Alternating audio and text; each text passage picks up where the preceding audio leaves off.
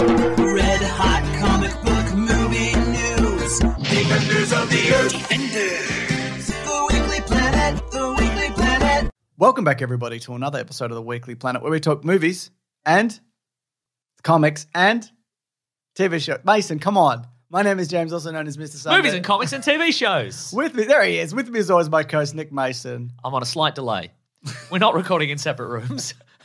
I've just decided to Oh, take a little decided. bit longer to think about things. It's not that you're a dumb guy. No, Okay. no, it's not that my brain is dissolving slowly. Well, good. I'm So glad. I'm just taking a little extra so, time. So, just to know? clarify, you're just being rude. Yes, I'm just being rude. Okay, great. Mm-hmm. Do you know there's big news this week? I bet there is. I mean, people could I've abandoned the bit. I'm Okay. not going to do it. It'll be torturous. for everyone. I cannot. move. No, I mean, as if we were going to maintain really any bit, but especially well, that, that is one. true. Yeah, that one I'm in doing great, and I'm quick as a whip, James. Wow. As always, quick as a whip. quick as a whip. Did you know uh, someone who's quick as a whip is John Wick? Because we're going to be talking about John Wick Chapter 4. There are time codes for all of the information if people want to skip to anything. Collins, who edits this, he's kind enough to put them in the show notes. We're also going to talk about the first look at Lady Gaga as Harley Quinn. We're quick as a whip with a podcast equivalent of John Wick whipping somebody in the balls with some nunchucks. Did he do that? Can we add that to the theme song? John Wick, like you saying that? Mm, We could add it. We could Or add the sound effect of the. no something you know because it used the sound. The, the the theme song used to be Red Hot comic book movie news shooting up your butthole. Yes. maybe it'd be Red Hot comic book movie news. John Wick hitting. Being being being whipped in the nuts with a pair of nunchucks. The equivalent of being hit in the nuts with a pair of nunchucks. The Weekly Planet. The Weekly, the weekly. Planet. I mean, it's something You to think about. Yeah. Yeah. It's it's less rude, right? I mean, it's, yeah, it's less rude. Hmm. It's weirder. Is it? I don't know if it's weirder. What about taint? Being whipped in the taint by a pair of nunchucks. But the pop culture the pop equivalent cultural of equivalent of the yeah, Weekly yeah, Planet, not the Weekly literally. Planet, yeah. yeah. yeah, absolutely. Unless you come to one of our live shows, in which case you will be getting whipped hmm. in the tape. What about like a William Shatner esque, just spoken word version of the of the lyrics? Oh, okay. You can just cut this and put it in. Yeah, I think. okay, well, that's probably true, Just some yeah. space music, and then I'm just like, what if you were being whipped? At? It doesn't matter. Anyway. so Lady Gaga, oh yes. Zack Snyder's uh, announcement concerning the DCEU. You're going to be excited for that. Mason. Mm-hmm. Some Star Wars news and some firing news for Star Wars and Marvel. Oh my goodness. Uh, a Disney Indiana Jones spin-off series has been put aside, Mason. Wait, gonna- what does that mean? They're not doing it. Okay, right. Hmm. Probably. Uh, we're going to get into what's going on with Blade, and then we've got a whole lot of news in relation to what happened with Shazam and cameos and The Oh, yeah. Rock and all of that kind of. There's been a real hullabaloo this week, Mason. Speaking of cameos, do you think we could get any of the stars of the movie to do a cameo where they explain what's going on? Just really dish some dirt. They seem to just be doing that themselves. yeah, really. they do, don't they? but yeah. no, I think that's very possible. Mm. Anyways, jump around if you do want to. And then we're going to talk John Wick 4. Yes, that's right. John Wick Chapter 4, no subtitle this time. Thank you. yeah, why is that? Why does this three the only one? It's going to be called Parabellum? something. It Was it? It was going to be John Wick 4 something something, and then they just cut it. Who knows? We'll never know. Nunchuck nuts. Mm. uh, Nunchuck Nananza. Yeah, yeah. yeah. Okay. It was going to be called Bullet Bonanza. Mm. Then they put the nunchucks in, and they're like, well, we can't resist. No. And it's too, it's too late to change the second word. yeah, no, you wouldn't. You couldn't. You shouldn't. Yeah, yeah. Oh, but speaking of his, um, Oh, you got your one bit of news? Well, I was gonna. Okay, it's an unrelated bit of news, but before before I saw John Wick in the theaters, they did a um Mission Impossible Eight trailer, like a little featurette. Oh, yeah. On. Uh, so I was like, this is real. Movies yeah. are real. So this was the Movies are real. This was a behind the scenes stunt. He did scream that a lot. They had to edit that out. There's just a lot of shots of Christopher McQuarrie like looking at his sound guy, like, can we cut that out? Can we cut this out? Can we? But it's the featurette where we see, we see it's the last part of the previous trailer where.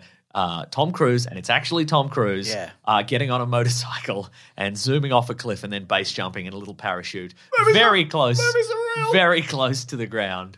Uh, and there's a moment in it, and, and it is like on a big screen. I, I'm, you know, we've seen a lot of it on TV, Sure. and I think it probably people are watching it on their phones. You don't get the scope of it until you see him doing it on a big screen. Okay. And it's just the, just the like the, the the quick pan over the cliff. I'm Yeah. like, this is terrifying. And there's a moment they do it a bunch of times. They never explain where the motorcycles go, Oh, like, or right. how many motorcycles they've burned through. Yeah, I mean, he di- didn't he do it like forty times or something, Something like like that? that, so yeah. forty, right? Just a, just a just a graveyard of forty smashed up motorcycles at the bottom of the cliff and then they just leave. Yeah. By people of Tibet or wherever. or wherever we are. Enjoy those motorcycles. That's just a reminder that movies are real. yeah. Maybe you can make a, I don't know, a still out of them or something. um, but he and there's a moment, um, there's a moment where he, uh, yeah, he he does one and then he's like, I think I could stay on the motorcycle a bit longer before I jump off here. I like, I could, I could be a bit closer to the motorcycle before I run the shoot. Good. But anyway, I was going to say the bit, a bit of fun casting news. Yeah, yeah, I don't know if you saw this on Instagram, but Christopher, Christopher McQuarrie, Christopher McQuarrie. Christopher McQuarrie, Mm-hmm. a bad little boy. oh, is he? Uh, no, he's a good little boy. Okay, good. He's like, I'm so busy. he is very busy. I gotta talk to my sound guy. Tom Cruise keeps keeps Tom Cruise. He keeps saying movies are back. And are real. Yeah, their movies are real. movies are real. Uh, but he announced that uh, returning to the cast of Mission Impossible is the great Rolf Saxon. Yes. Uh, who people will probably best know uh, as the guy who vomits. the guy. I'm gonna I'm gonna find his name in this. He's in Mission Impossible 1. He's in Mission Impossible One. He's the guy at the computer that Tom Cruise infiltrates. It's, it's the he's the guy. He's the linchpin of Mission Impossible One because he's the guy in the computer room that Tom Cruise has to get into and, and get the data. But of course, he's in there and he's doing his important computer work. So uh, the the Mission Impossible team, the IMF, they have to poison his, poison his coffee Yep. and make him do lots of vomits and poos. Yeah. and then he has to he spends the rest of the movie running back and forth doing vomits and poos. Do you think he's still doing vomits and poos and that's how it comes back? I mean, he's looking. He's got a big beard. He's not. Yeah. Looking, he's not looking particularly great. And he look- was like 39 when he filmed that, Yeah. which is my age. So that's good. So, but what's you know, obviously he he's probably because they're bringing back um Henry Czerny, who's the guy, Yeah. who's the the voice of the uh, Mission Impossible like audio tapes. Hello. exactly, precisely. It's Mission Impossible time. Mission Impossible time. Bet He you talk- can't. Bet you can't do this mission. He talks when you talk. So like you got to be like, uh, and then he goes, "That's Mission Impossible." well, bet And it's, a pause. yeah, yeah, yeah. and as soon as you go, he goes. That's great. Yeah. Um, but I, you know, obviously he's going to be back for, you know, probably some small role. You know, Yeah. maybe he's a little higher up in the organization now or something like that. But I like to think it's it's uh, Fast and the Furious style. Like he's been plotting his revenge for twenty years. You know, Do you reckon he works for IMF or they just like outsource their recording? So they're just like, read this, and he's like, all right, I. Yeah. Like, you know, like, Oh, is he just a yeah. voice? Is he just a voice actor looking for work? that's a great point. Like, uh, he's like, is this for a movie? And they're like, yeah, yeah. I mean, in the first one, he and this is Henry Czerny. Mm. Uh, at the at the end of at the in Oh, he's like physically in it, is he? Is that what you're saying? yes, The guy, the voice guy, th- as in like the guy's like, this is your mission and whatever. yeah, he's back for the new one. Yeah, but like, but he's actually in the movie. The first one, yeah. Oh, I didn't know that. He's the he's the guy that uh, Tom Cruise has the conversation with in the restaurant. Oh, Kittredge. Kittredge, yes. Yeah. Oh, I didn't realize that was the voice guy. He's the same guy. Okay. Now I'm getting. Now I'm understanding. Okay, it's been a long time since It's been a long time. Yeah. Great. Well, this is all good news, Mason. It is good news. Yeah. Anyway, that's been one bit of news. That's one. That's a couple bits of news you, sn- you snuck in there. That's right. We also got our first look at Lady Gaga, Gaga. as Harley Ah. Quinn. Mm. Did you see the jack? Did you see the? I s- it's a Harley Quinn. Yes. It's a Harlequin pattern. Yes, precisely. Yes. The eyes in the water. I like yeah. it. Yeah. I think it's good. Bit of fun. Yeah, it is a bit of fun. Yeah. Do you think she's going to do the voice? like that one. you Yeah, maybe. Yeah. Mm. Well, she's. I imagine she's got a. I've, I don't know if I've ever heard Lady Gaga speak. No, you haven't seen any of her movies that she's in. House of Gucci. I have seen House of Gucci, but There you go. yes, that's true. That's how she talks. But like a okay, right?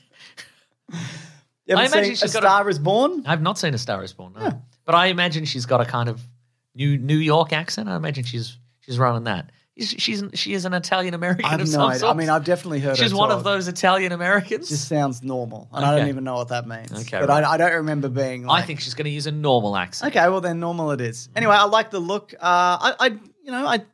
Let's see where this is going. I guess aesthetically, What, she's coming out of a courthouse or something. Maybe she's done some big crimes with the She's Joker. done a big crime, yeah. no doubt. But uh, are you looking forward to Joker two? Second Yes. Joker. Yes, All I right, because you love the first one.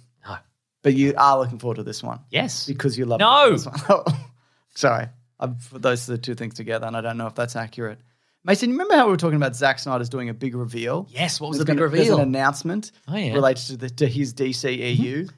And was it a- that he made. Was it a um, screening? Yeah, it's a screening. I know we talked about this a little last week, but it was fully locked in and confirmed Nice. that he's doing a special screening of his version of Justice League and Man of Steel and Batman v Superman in that order. And Oh, in reverse order. Yeah, reverse order. Interesting. And it's going to be a. And he's a- like, it's a new timeline. this is canon now.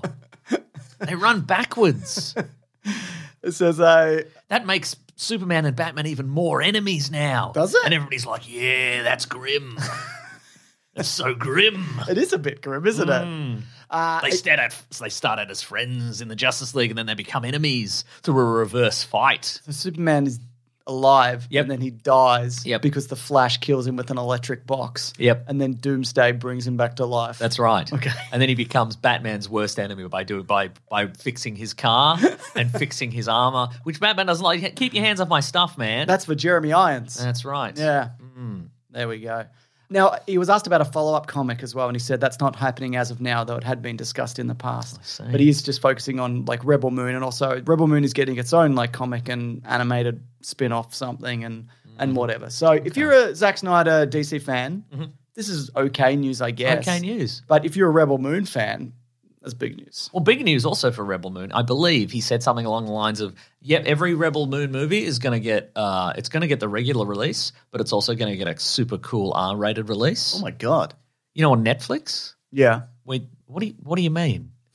Just Is watch it the. is it going wa- to cinemas at all? Maybe I don't think there's been any official announcement about that though. Because Apple have, Apple announced that they're moving into movies specifically to like build their brand of like we make high quality movies and then you can only mm. watch those high quality movies on your Apple Watch or whatever. Sure, sure, sure. And I think Netflix need to do a similar thing, whereas mm. that where like they did with Knives Out too, but properly. Yes. like release it for like a month mm. and then you can only see this on your Apple Watch yeah, or, your I- Netflix. I watch. hope that is the way the winds are blowing because you need both, right? Creed Three is going to video on demand very soon, and Yeah. it's doing really well yeah, at the cinemas. So It's bizarre. yeah. But I think that might be a result of this next month being like John Wick and Mm, yeah, Super yeah. Mario and Dungeons and Dragons, and there's a bunch of other stuff coming where they realize that the return on that is, Mm. I assume it's calculated.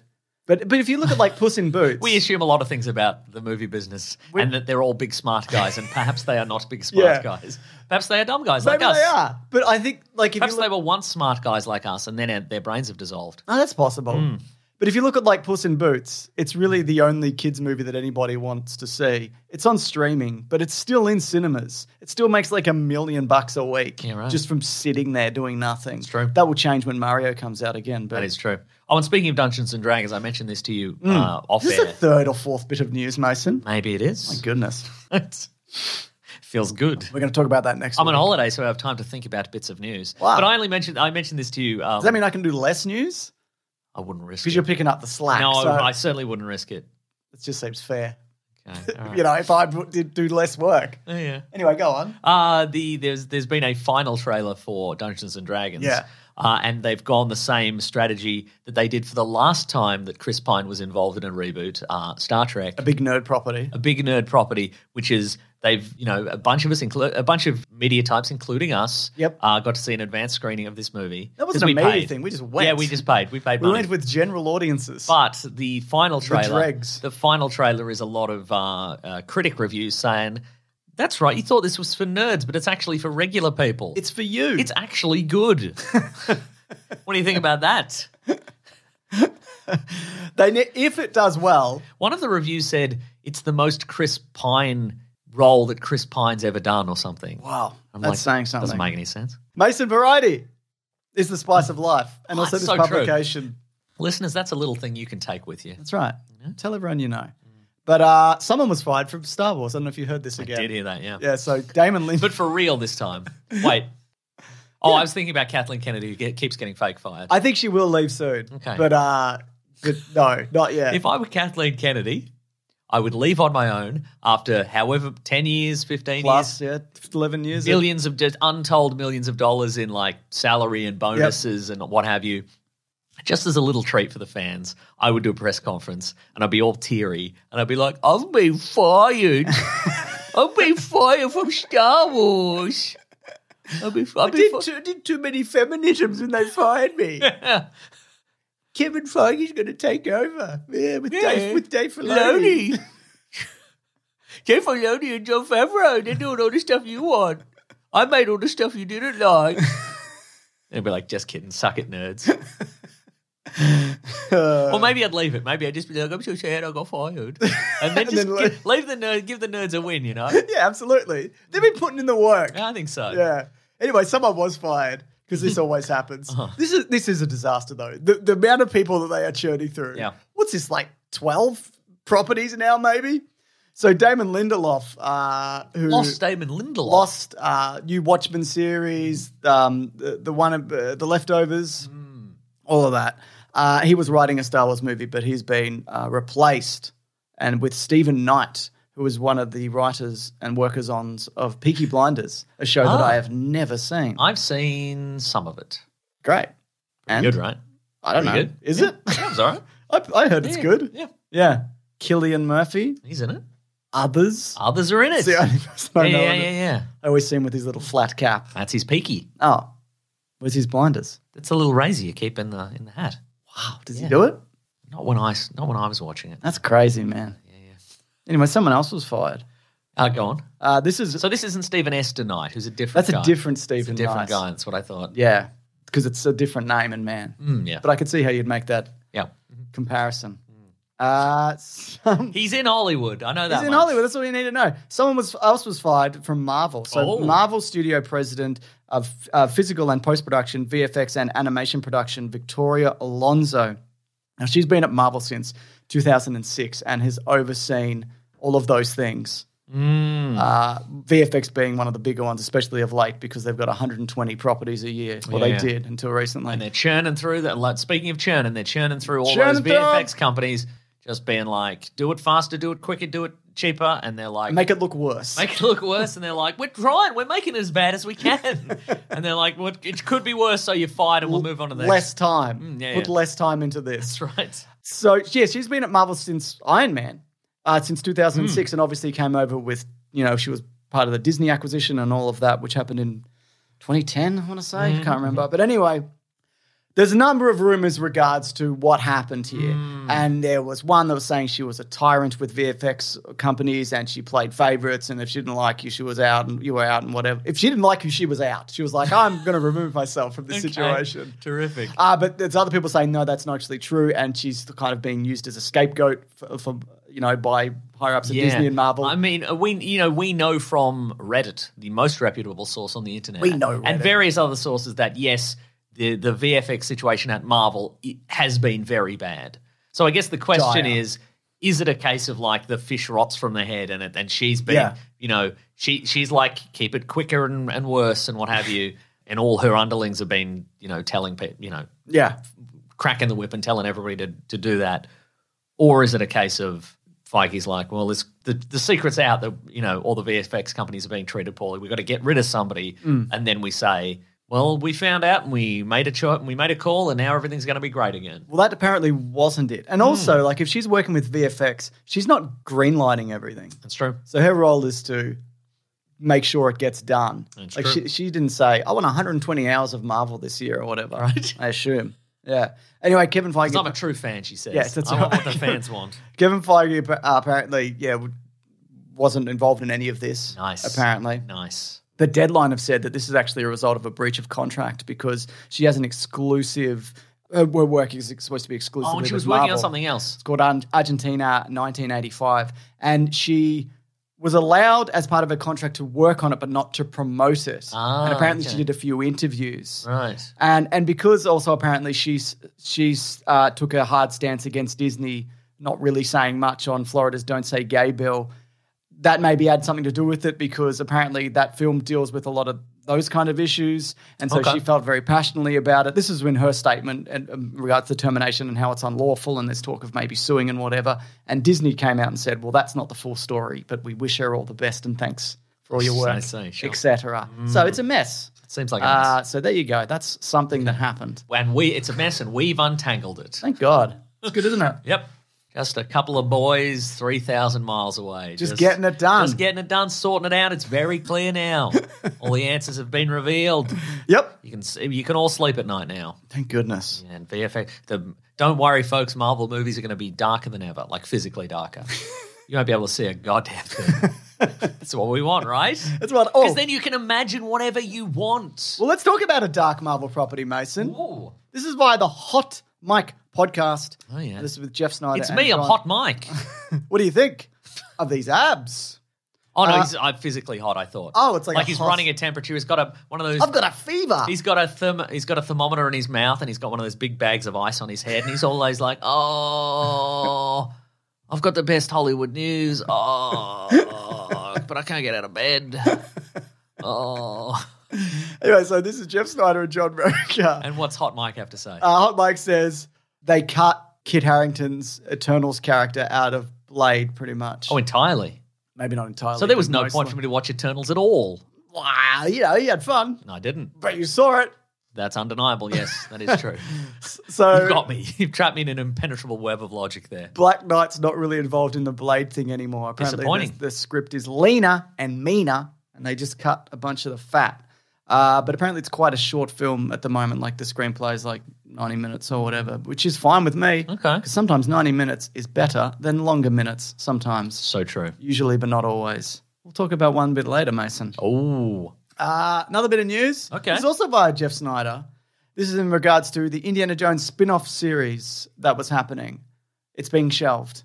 Okay. Uh, it was going to be a prequel. Is this is Phoebe Waller Bridge involved something? No. Oh no, it's the guy. It's the guy. Abner Raven. It's the guy. Okay, right. It's The guy guy. tutored and mentored Indiana Yeah, Jones. right, right. And it probably has a hat. No doubt he has a hat. Yeah, because the men of that era would have a hat. A hat with a little propeller on it. Oh, you That's think what so? men with the, with the era. Because he's on the Geek Squad or whatever.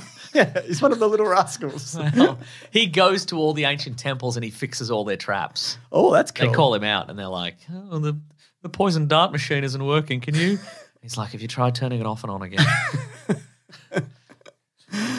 Uh, just step on the thing a bunch of just yeah, click, click, click, click, click, and it'll yeah, work. Five clicks, and then it'll Five be clicks, fine. it should be fine. Yeah.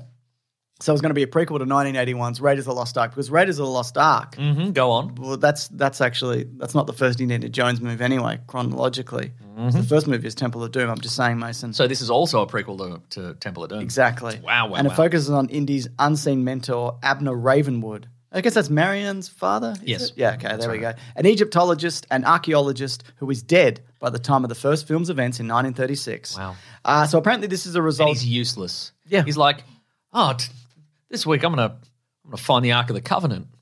Oh, I can't find it. I didn't. I hope somebody does. Someone says something. I'd love to see that. But This I'll week, Holy won't. Grail. Oh, I hope someone. Oh, bloody Grail. hell. Jeez, this is tough, actually. Man. I'm just down the pub. should call it the Holy Snail because it's bloody taken me so long to find this thing. I don't think I will actually. Just call me the Holy Snail. I'm going to the pub. He's really good at improv, just like me. Oh, wow, that's really good, yeah. Yeah. Yeah. Uh, apparently, this is because they want to focus more on Star Wars, Uh-huh. which is not a surprise. And this is also off the back of apparently Willow not being uh, well received or didn't rate well, and probably cancelled cancelled. as well, yeah. maybe though. Uh, Maybe not. Like some of the people involved are like, well, we've been let go from our contracts, but it doesn't mean it's all over and whatever. I'm going to say something about the show Willow.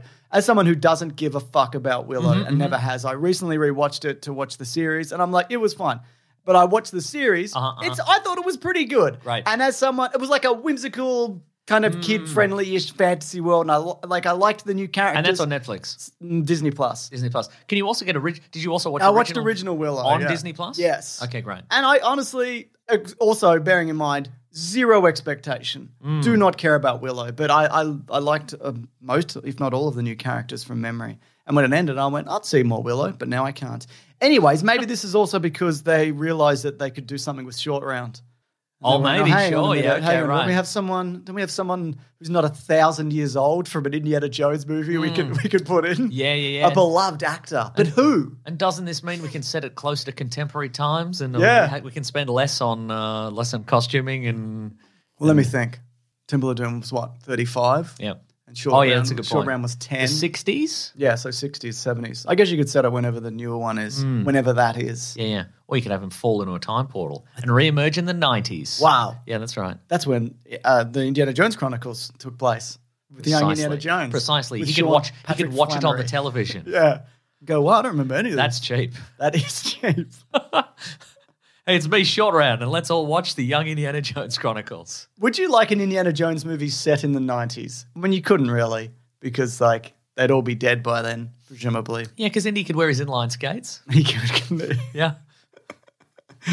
Because there'll be one where he'd be like, You'll never get me on those rollerblades. Cut two, is on the rollerblades.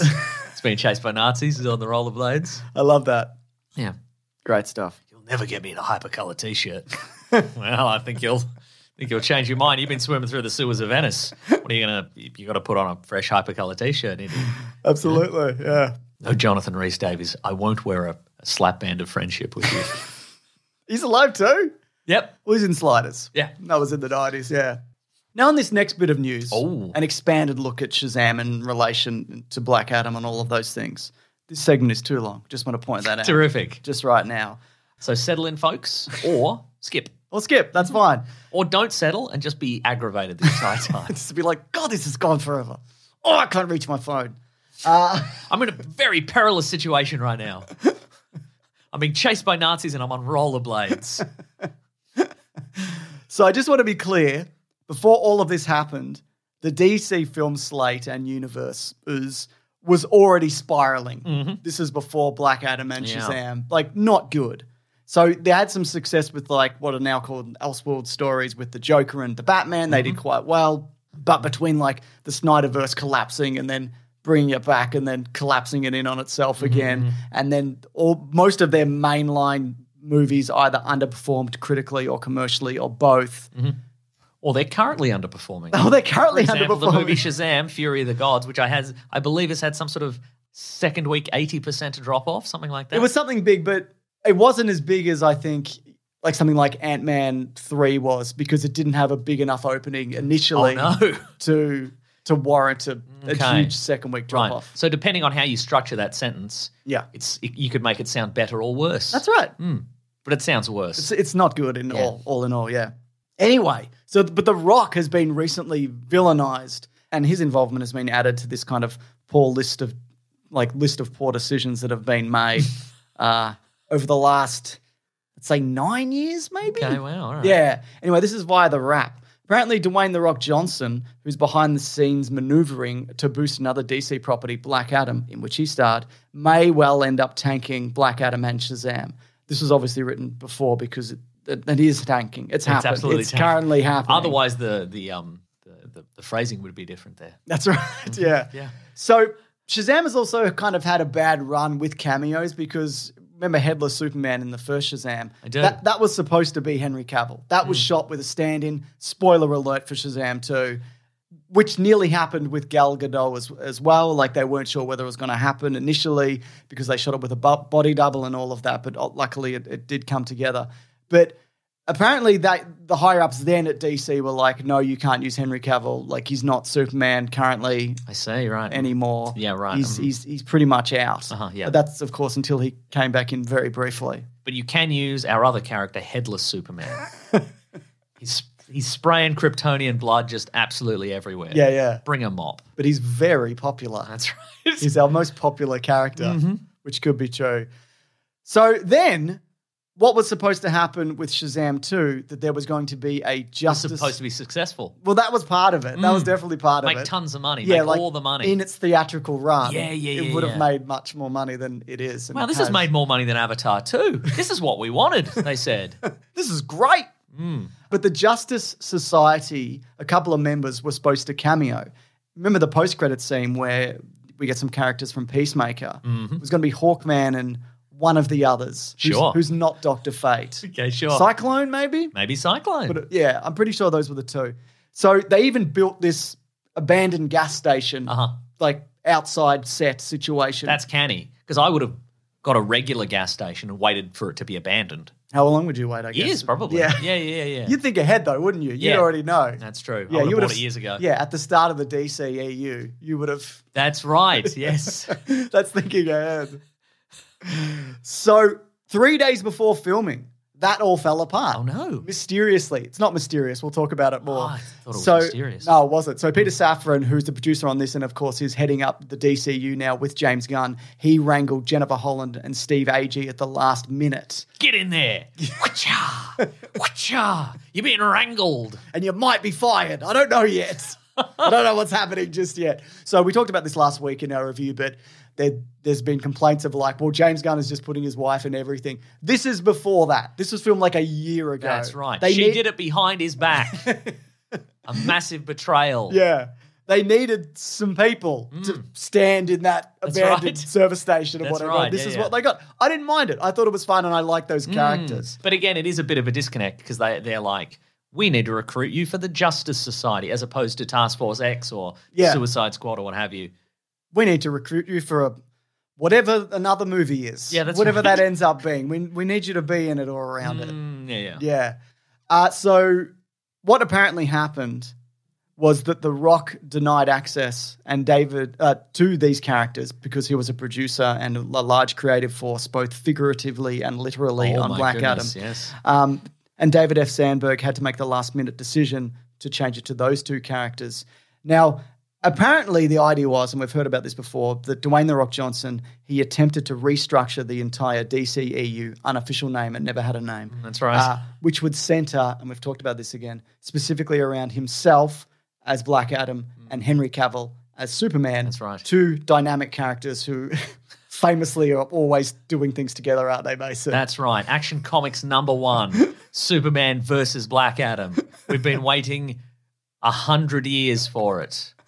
And as we talked about at the time, mm-hmm. it's not a good pairing. Yep. Who cares if this guy fights this other guy? Batman versus Superman, that's an interesting idea. Mm-hmm. Batman versus anybody, just anybody. Superman versus anybody is more interesting than this, I feel. Mm. Superman and Shazam is more interesting than Superman and Black Adam, Yes. I feel. But, But of course, anything can be mm. interesting. But evidently, somebody told The Rock at some point, you know, since Black Adam is magic and Superman is vulnerable to magic, yeah. he'll probably beat Superman. And he went, Good. I'm going to base my entire life around this for several years. Do you remember you also read an article at the I've time? never- I can't read. No, you did when we talked about Black Adam and how The Rock had a series of social media posts over the decade naming different DC characters and how they could beat Superman, like implying that he was going to be. I think one of them was one of the a Green Lantern, and there were some other right, ones okay, kind sure, of sure. scattered through in there, and he Uh-huh. eventually settled again on Black Adam because he Mm, was sure, cast in right. like 1993 Yeah, or uh-huh. whatever. Yeah. Yeah. Anyways, so apparently Zachary Levi was apparently not allowed at the behest of The Rock to cameo in the post-credit scene in Black Adam. Wow. So it was Superman when it would make more sense, I guess, to to not be Superman. Yeah. Mm. I mean, I think probably going forward, the number one thing that uh, the heads of DC are going to do is not let a star become a producer on the level that they can just say, you can't use your own characters in another movie. Yeah, That's that's staggering. absolutely it is. Especially since Black Adam did really badly. yes. But now but he still retains this power. I think that's really interesting. It seems that way. you know yeah. what the clause should be? It should be, yeah, you get to retain control of these characters if your movie does well. Yeah. And if it does poorly, we kick you in a pit. Would that have to get somebody bigger, obviously? But it could Yeah, be yeah. it could be done. It, I guess. but I've also They I- get that guy from Game of Thrones, man. Yeah, get the big guy from Game of Thrones. One of the several big guys in Game of Thrones. Hmm. That's right. But I think all al- together, all three of them. Just bum rush the rock.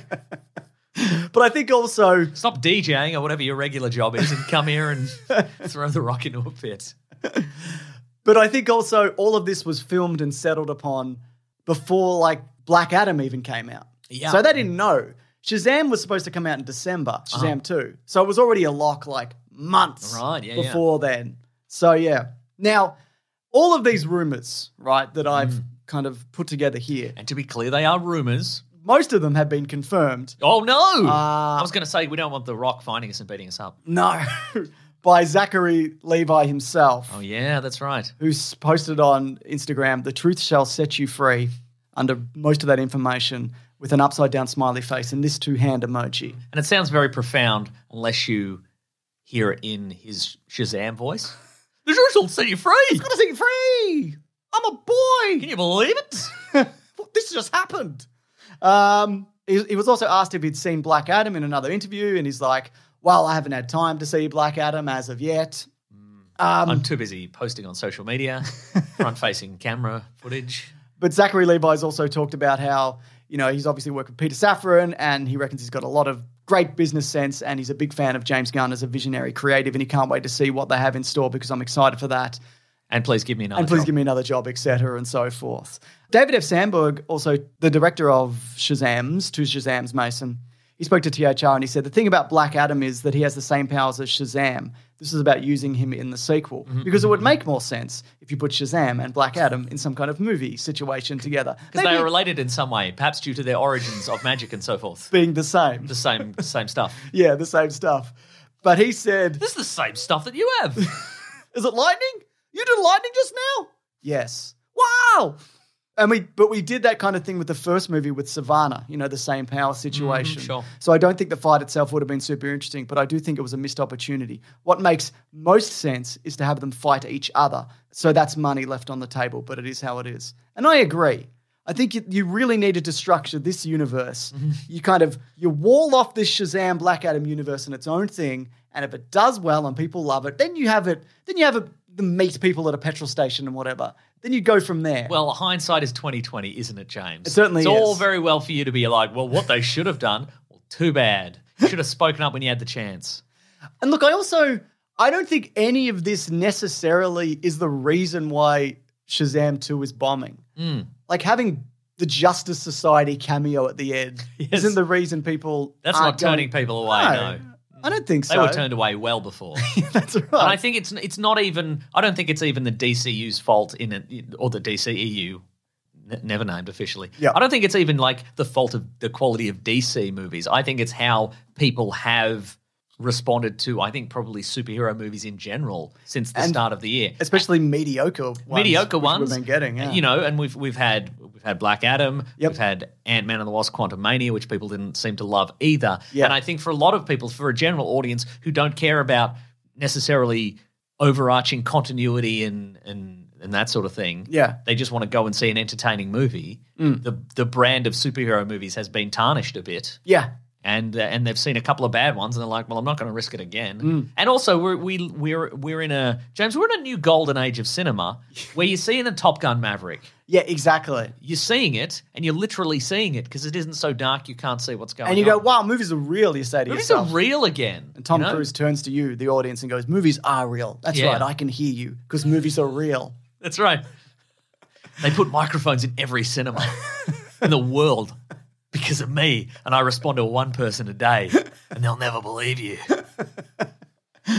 I think again though, and we talked about this last week. Like the reason it probably bombed is I think there was too much of a gap between this and the first one. Mm-hmm. I also think Zachary Levi is not like a Ben Affleck or a Henry Cavill or a Ryan Reynolds. He's not like a big social media kind of brand in himself. Sure, sure. You know? And that's not to say that again that, you know, he's he's not good as Shazam, even though there's that weird disconnect between him and the boy. You know, he's fun, he does fun things. But I also think it was marketed poorly because we get a lot of comments that were just like, I didn't know this was out. Yeah. You know? Unless you see the bus that happens to have the, the poster on Yeah. it drive by. Which it might. Might. Or it might not. Why not? Yeah. I also think it's this whole situation. I don't even think it's like, I don't even blame The Rock for trying to come in and take over and, and kind of insert his own Hmm. self and character into this because this whole fucking thing was floundering. There was a door here for him to step That's through. true, And they, you're right, and they, yeah. they allowed it to happen and he took a shot at it. And we've talked about in the past, you know, the Marvel Cinematic Universe Mm. was initially created with what people at the time would consider B-listers or worse. Yeah. You know, because all the, what you would call all the Just big, yuckos. the, all the biggest selling, the best stuff, Spider Man, the X Men, and so forth, had Yeah. been licensed out to other people, and so uh, Marvel Studios had essentially the leftovers, and they made that into something. You know, sometimes you'll say, "Well, Iron Man used to be kind of a B-lister," and people will be like, "No, he wasn't. He's always been cool." And it's like, I don't you remember man. when he had roller skates? Yes. Do you remember that? I do. Yeah. Um, but and so you know, the idea that Black Adam would become the central figure of this. It's not that far fetched when you think about it. He's a Superman like figure, Yeah. and The Rock has a lot of charisma. Yeah. and and you you know you could build the universe around that. Why not? It's just uh, it didn't work, and it didn't work real bad. yeah, exactly. Anyway, Shazam 2 is streaming uh, apparently on April 18th. So, Huh. you know, that's always a good sign as well when they're like, okay, we'll just give it a month. Yeah. Put it on streaming. Maybe people will be more inclined to watch this if they don't have to leave their homes and they can be on their phones. Yeah, They can watch Zachary Levi's Instagram stories while they watch the movie. Maybe that's the spice it needs. It might just be. Maybe they can uh, uh, maybe they can play Black Adam on their phones and they can hold up the Justice Society Oh, next in- to it. next to the gas station scene and pretend Oh, yeah. that they're there. That's fun, isn't That'll it? do it. Maybe maybe there'll be a huge maybe there'll be a surge in purchase of Shazam too when people find out that little life hack. And Black Adam, Mm. you purchase them both Yeah. side by side. Oh, two winners. Yeah, so there you go. That's just a little bit of Hollywood goss. Mm-hmm. Just actors out in the world just taking shots at each other. That's right. And that's what we love to see. Mm-hmm. Jonathan, Jonathan Wickleton, he's back in uh, chapter chapter four. That's right. John Wick chapter four. Uh, this had a budget. You're not going to believe this, Mason. Guess the budget.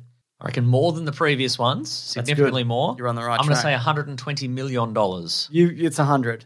Okay, all right. Can you believe that? I can't believe it. So when I said you're not going to believe it, you do believe it. I do, yeah, yeah, yeah. Damn. And what's that say about you? I don't know. It's not good though. No, So this is makes interesting. you a bad person. I think. So I think we can all agree that makes you a bad person. I think- I for think I'm- making assumptions. Honestly, We can they all- were correct, obviously, but it's not the point. The Yeah. fact that you made them at all. I appreciate that. Mm. Uh, the box office return in the opening weekend in the US alone is $70 million, which is also incredible for an R rated movie. I don't know about your screening that you went to. Mine Uh, was pretty full. I And it was like during yeah. the day on like a Thursday. Yeah, I went Saturday daytime. Mm. Pretty full, hmm. pretty full. But I think word of mouth on this one is probably gonna. I agree. But this is interesting because you look at the numbers here Mm-hmm, mm-hmm. in terms of how they budgeted these, and this is how you slowly build a franchise. Because John Wick Chapter 1, which was mm-hmm. just called John Wick 1, Yeah, that's That right. had a budget. John Wick One brackets. We know there's going to be sequels, but it was going to nearly go to video on demand. Yeah. right? it was going to nearly going to be a direct to DVD at the time, probably direct to DVD hmm. movie. Keanu Reeves notwithstanding, it was just like well. Exactly, know. 2014, whenever it was. That was a $20 million film. Yeah. The second one was a $40 million film. The third one was a $75 million film. No, they should have made it eighty You- because then it would have been perfectly 20, 20, even. 20, They should have spent an extra five million just making you happy. just to make me happy. God, duh. So I just think this is a fascinating kind of and really clever way to build a friend. This is how this is Yeah. the, the blueprint, Yeah, which yeah. a lot of people seem to miss. And look, and I've you know I've talked about in the past, but I'm sure we both have, and plenty of people have that this this series has had sort of a Fast and Furious style escalation in this in the so far as the first one is pretty standard. He gets beat up by like two dudes in his apartment. yeah, like it's pre- it's pretty kind of regular. You know, it's interesting, and and you know it's got Keanu Reeves. It's got a great supporting cast. Yeah. and, but it's it's him versus kind of regular sort of organized crime gang guys stuff like that and then the the se- you know the sequel to that and then the subsequent ones have had this massive escalation into this kind of spectacular kind of theatrical world of There's always super a, assassins a better coin to get. I have, I have, some, I have some. I have some questions about the logistics of the world of assassins, which we'll leave till later, I think. But, Okay.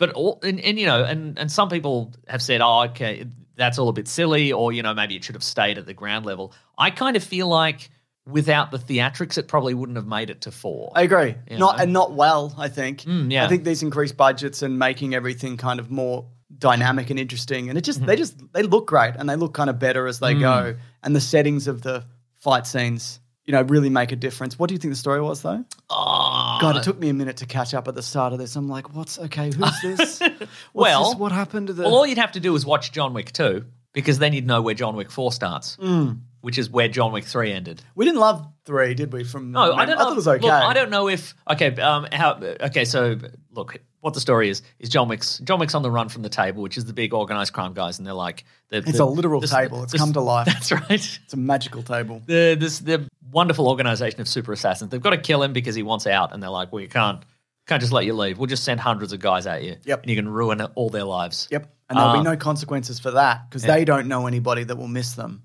But there's that table that's going to get you. That's right. Yeah. Um, I can fold out into a slightly bigger table. you know those ones you open up in the middle. Um, anyway, that's it. He's got to, he's got to kill everybody. Yeah. He's got to kill everybody to get out, and and but there's no way out. But is there? Maybe you got to do a thing. Maybe you got to do a thing. Um, Maybe you have to cut off another finger or whatever. you got to cut off all your fingers. um, but yeah, we. I mean, I was certainly critical of three for two reasons. One of which was it never really changed the status quo No. of the previous movie. John Wick was on the run at the end of the second one, and then just some stuff happens, and at the end he's just on the run again. And none, none of the characters really evolved. We didn't No. learn anything. There's some great action in Yeah, it, but I agree. But I was going to say, and the second thing I'm critical, I was critical of, is I kind of thought, even though the action was good, I thought it got quite samey. I agree. Towards the end, I think there was a lot of there was an ex- because both uh, Keanu Reeves and Halle Berry's characters had attack dogs. Mm. So much of it was just like attack dog and then two bullets to the head. Like, Yeah. it was just that for two ish hours. Um, and I don't know if what, what's the what's the director's name? uh, Chad. Um, It's Chad Stahelski. Yeah. I don't know if he he felt the same. I don't know if he listened to critics. I don't know if our our I think most people generally like them. yeah, Oh, I, I don't know if I don't know if our opinion was common or what have you, or even if he just went, you know what, I'm going to mix it up. Yeah. and he does in this, and I think it's This great. is really good. Yeah, this- I mean, if you like this kind of stuff, this, is, should, this has reinvigorated my interest in the franchise. the, um, like the opening stuff. It's like it's in a hotel, and he, you know, he gets some nunchucks at one point, and that's cool. Hmm. But it felt very kind of samey as to what have come before. Like he's hitting hundred guys and he's headshotting and whatever. And like so, the, for the first like forty minutes, I'm like, okay, it's it's this again. Okay. Okay, this is what these are, and then it just gets better and better and better as see, it, I as see. Even I feel like even for me, even that opening sequence, the the sequence in the um, Osaka. No, I liked it. Yeah. Don't get me wrong, but it felt like, oh yeah, no, I've seen these. Oh, see, I don't know. I felt I even I felt even like the. The, even the martial arts that were being used in, Hmm. in like the opening sequences, like there was a way more creativity and way more movement. Um, but also just, and you, I think you mentioned this earlier, just the just the look of this movie. Yeah, Uh, and I again, I sh- what I should have done is do a rewatch of these movies, but I didn't have time. Mm. Uh, all the previous ones. But again, this is this is a movie, James, that I would describe as sumptuous. Oh, wow. Another in a long line of movies that I would describe as sumptuous. I'm like, oh, just like what are the, other movies would you just? You said long line. What some be some other movies? the Oh, menu? you know, sorry, the menu. Does it have to have food in it? no, Okay. no. Is there any food in this movie? No. Yeah, yeah, Yes. yeah, yeah. No. I'm sure they go to a restaurant. Something. Maybe, maybe somebody like drinks from a cup of coffee or something. Yeah, maybe. Yeah. Oh, um, Donnie Yen drinks from a little cup of coffee. Oh, that's good. Yeah. Anyway, I've forgotten. Uh, and I've forgotten every other movie that's sumptuous. But just like all the sets look incredible. Yeah, the just lighting the and- lighting is just like this. You know, there's there's there'll be a scene just where where two characters get on a train for a minute, and it's just this this it's just a wash with all this like pink Yeah. and blue lighting and everything's so clear and vivid and like all these really interesting shot choices. There's an action sequence in this movie that is it's like a top down. I was watching that and I'm like, this should be a game. Yeah, it's like a would- it's like a top down. I was thinking about like the mechanics of a John Wick game, and I know there are John Wick games. So Uh-huh. there's like a um, it's almost turn based. It's John Wick Hex. Yes. Oh, Endless is it John Wick Go or something like It's, that? it's called There's John Wick Hex or something Okay, because that. there's a And game- it- I I haven't played it, but apparently it's really good. Because there's a Hitman Go, which is sort of like a top down. Yeah, it's that kind and of. And it's like it's like um. There's a sequence. It's very much akin to I don't know if you ever played Hotline Miami. yeah, okay, yeah, and yeah. it's this sort of really grubby, Yeah. unpleasant game where you you go into a various you know villains gang houses and you and you so it's like this. You go smash in, their head open. you go into a Oh, yeah, and okay, you right. plan it out. Yeah, Mhm. Apparently it's great. I should play this actually. Yeah. But um, yeah, but I think also if you did something, this is a bit off topic, but if you did something with this as top down, that is an easier game to build and mechanically give him all the combat and all the Yeah. third person action and the gunplay. Like that's a, it's not impossible, but it's a more difficult game to build. Yeah, right, You know, give it like the Sifu combat on top of everything else that Uh-huh. he has to do. yeah, right. I mean, don't get me wrong, I'd love to play that game if somebody Hmm. made that game. But yeah, just like everything looks incredible. You know, so many, so many kind of you know beautiful locations. And, Yeah. and and they've and a lot of variety. Like there's a bit where he's in the desert and Yeah. it's like a minute long. yeah. And he's riding a horse and then the Look, if I had, a, like, if- yeah, like they the fact that they did that at all Yeah. was like you didn't have to you could have set that in an alleyway. But they you know, Yeah, they yeah. don't. And I think Yeah. there's little things like that which I love. yeah. Look, I don't think it dragged either. No, Uh, even though it's nearly three hours. I think I I do feel like narratively it was probably like one fetch quest too many. Okay, sure. Like I feel, you know, there's there's a lot of like he goes to a John Wick. He he wants to.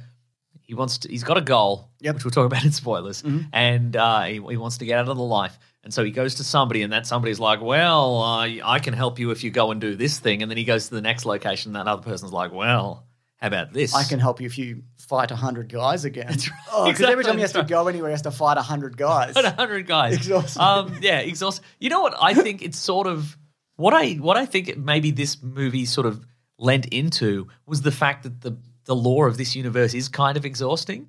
They kind of stepped away from it a bit, didn't they? In terms Yeah. of people handing each other coins and whatever. Yeah, yeah. There's a little bit, but there's way less. But but I feel like John Wick as a character is feels like just he be- he really conveys I'm exhausted with this whole universe. who am I killing? Yeah. put- how do I why stop this, this? Why does this keep going? Kind of thing. Who's the guy I have to kill? But he's not self-aware and quipping about it.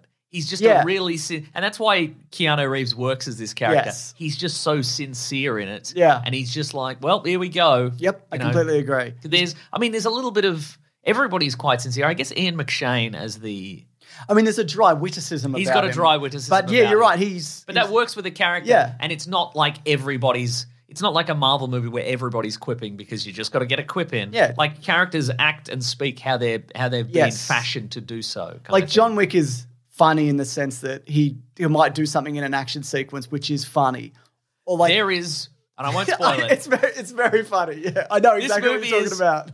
breathtakingly sincere, but at like 15 minutes to the end, there is a physical gag that is so funny. There's just one. It's like there might be other jokes in this movie. No, there are. But I can't remember any of them because there's one joke right near the end that is so funny. It's just wiped them all, the rest of them out of my brain.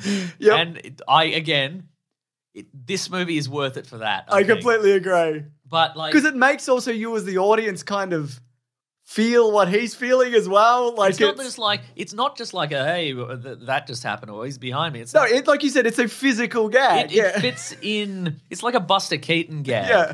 It fits in with the. It like we're emotionally invested, and then the thing happens. and you're like, oh god. Um, it's, it, and the gag itself goes for a while.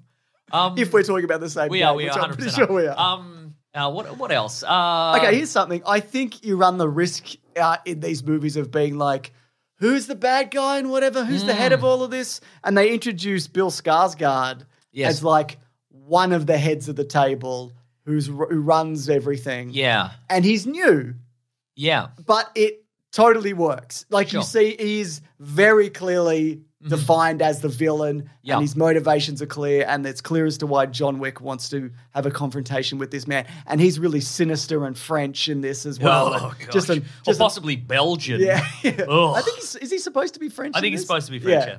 But he's great. He was Yeah. really good, and obviously there's a few other inclusions. We get Donnie Yen.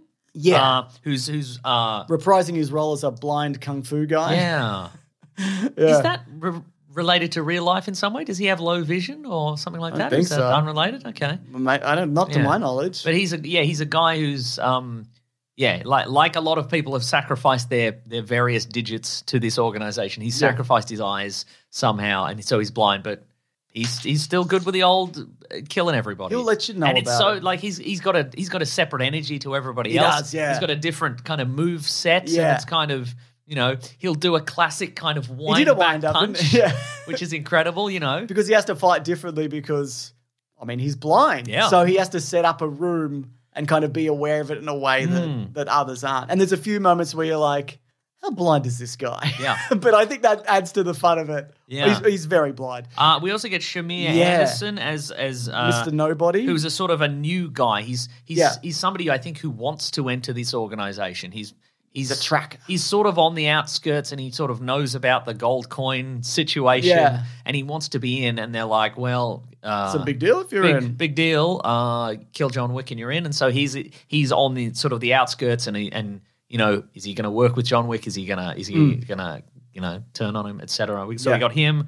Um, who else do we get? Oh, we get we get uh, someone who I'm not familiar with, but apparently he's quite. He's, he's got a couple of movies that in the similar vein that are very good. Scott Adkins. Yeah, he's an amazing stuntman. He was Ben Affleck's stuntman in Batman v Superman. Ah, okay. And he's just he's in a bunch of shit. Yeah, he's in a series Yeah. called Accident Man, where Yeah. he's the titular accident man, not Mister Accident. No, That is the Yahoo Serious. Yeah, he's been in. I mean, he's a he's an action star and you know an actor himself, but he often stunts for. Yeah. like big stuff. But in this, he's a he's a he's a he's a big man. He's a big, large man It's who can fun. still do some big spin kicks and so forth. yeah. Yeah. and he's really again he's he's a delightful, delightful character, delightfully horrible character, I think. completely agree. And they've really, in terms of continuity, they really they really arranged his sweating so it so it really. yes, he was also Deadpool Oh yeah, right. for when Ryan Reynolds wasn't being Deadpool in X Men Origins. Right, right, right. Yeah, So, the, So there the- you go. because the original John Wick was directed by two guys, right? It was Chad Stahelski yes, and the other guy. And the other guy directed. I'm going to look this up, but he he's directed Atomic Blonde, which are I these in the like. same universe? I don't think they are no. Okay, great, great, great. Um, and he also directed. Um, he directed Bullet Train, which a lot of people don't like, but I thought was pretty fun. I thought it was a pretty. I think fun, no, it uh, says that David Leitch is his. Yeah, I don't think he direct because he directed Deadpool too. Yeah. he didn't direct one, but he was involved, and he didn't. Ah, I see, right. He didn't, but yeah, he was involved in. Oh, and then. David Leitch directed Hobbs and Shaw. So I mean, that's nobody's fault. it's true. You, could, very- you can't say the action's bad in that movie. You can't blame anyone for, for Hobbs and Shaw in a way. That's society's fault. it got away from all of us. Yeah, that's true.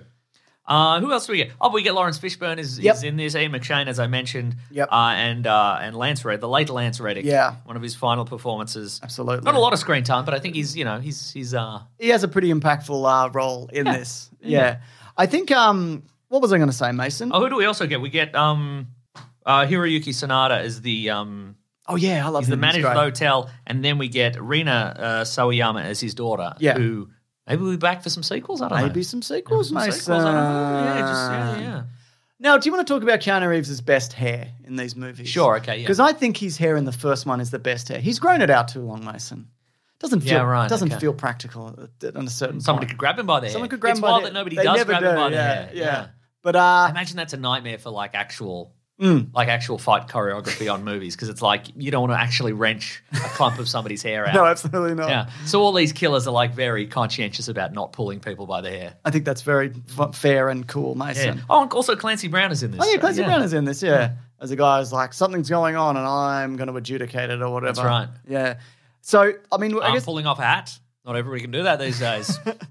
but I've some- got gravitas. I feel like there's also some great, like, really tense scenes outside of just the action sequences. Like, Mr. Nobody has a confrontation with the head of the crime family. Uh-huh. Not even a confrontation, it's like a discussion, like a deal is met. And that scene is really tense and kind of culminates in a very tense and interesting way. There's a card game sequence, which is really great, Mm-hmm. Yeah, yeah. where they're all sitting around the table. Yeah, yeah. Scott Adkins. And just, Mm. and he- Oh, and in terms of action, you know, like I, I really like the um the the uh, the hotel action sequence. Sure. Uh the Arc de Triomphe stuff is the Arc de Triomphe sequence, which is, I imagine, a mix of practical and a lot of CG because you can't actually film Yeah. a car chase around the Arc de Triomphe. But just, it's a million killers are out to get John Wick, and he's at the Arc de Triomphe, and, and obviously there's running A, in circles. there, there's there's a there's a it's the Arc de Triomphe is a, essentially a really big roundabout. Yes. and so there's a million cars going around. Spectacular, really good. They should have called it the really big roundabout. I agree. Mm. The really big roundabout. Yes. the roundabout really big.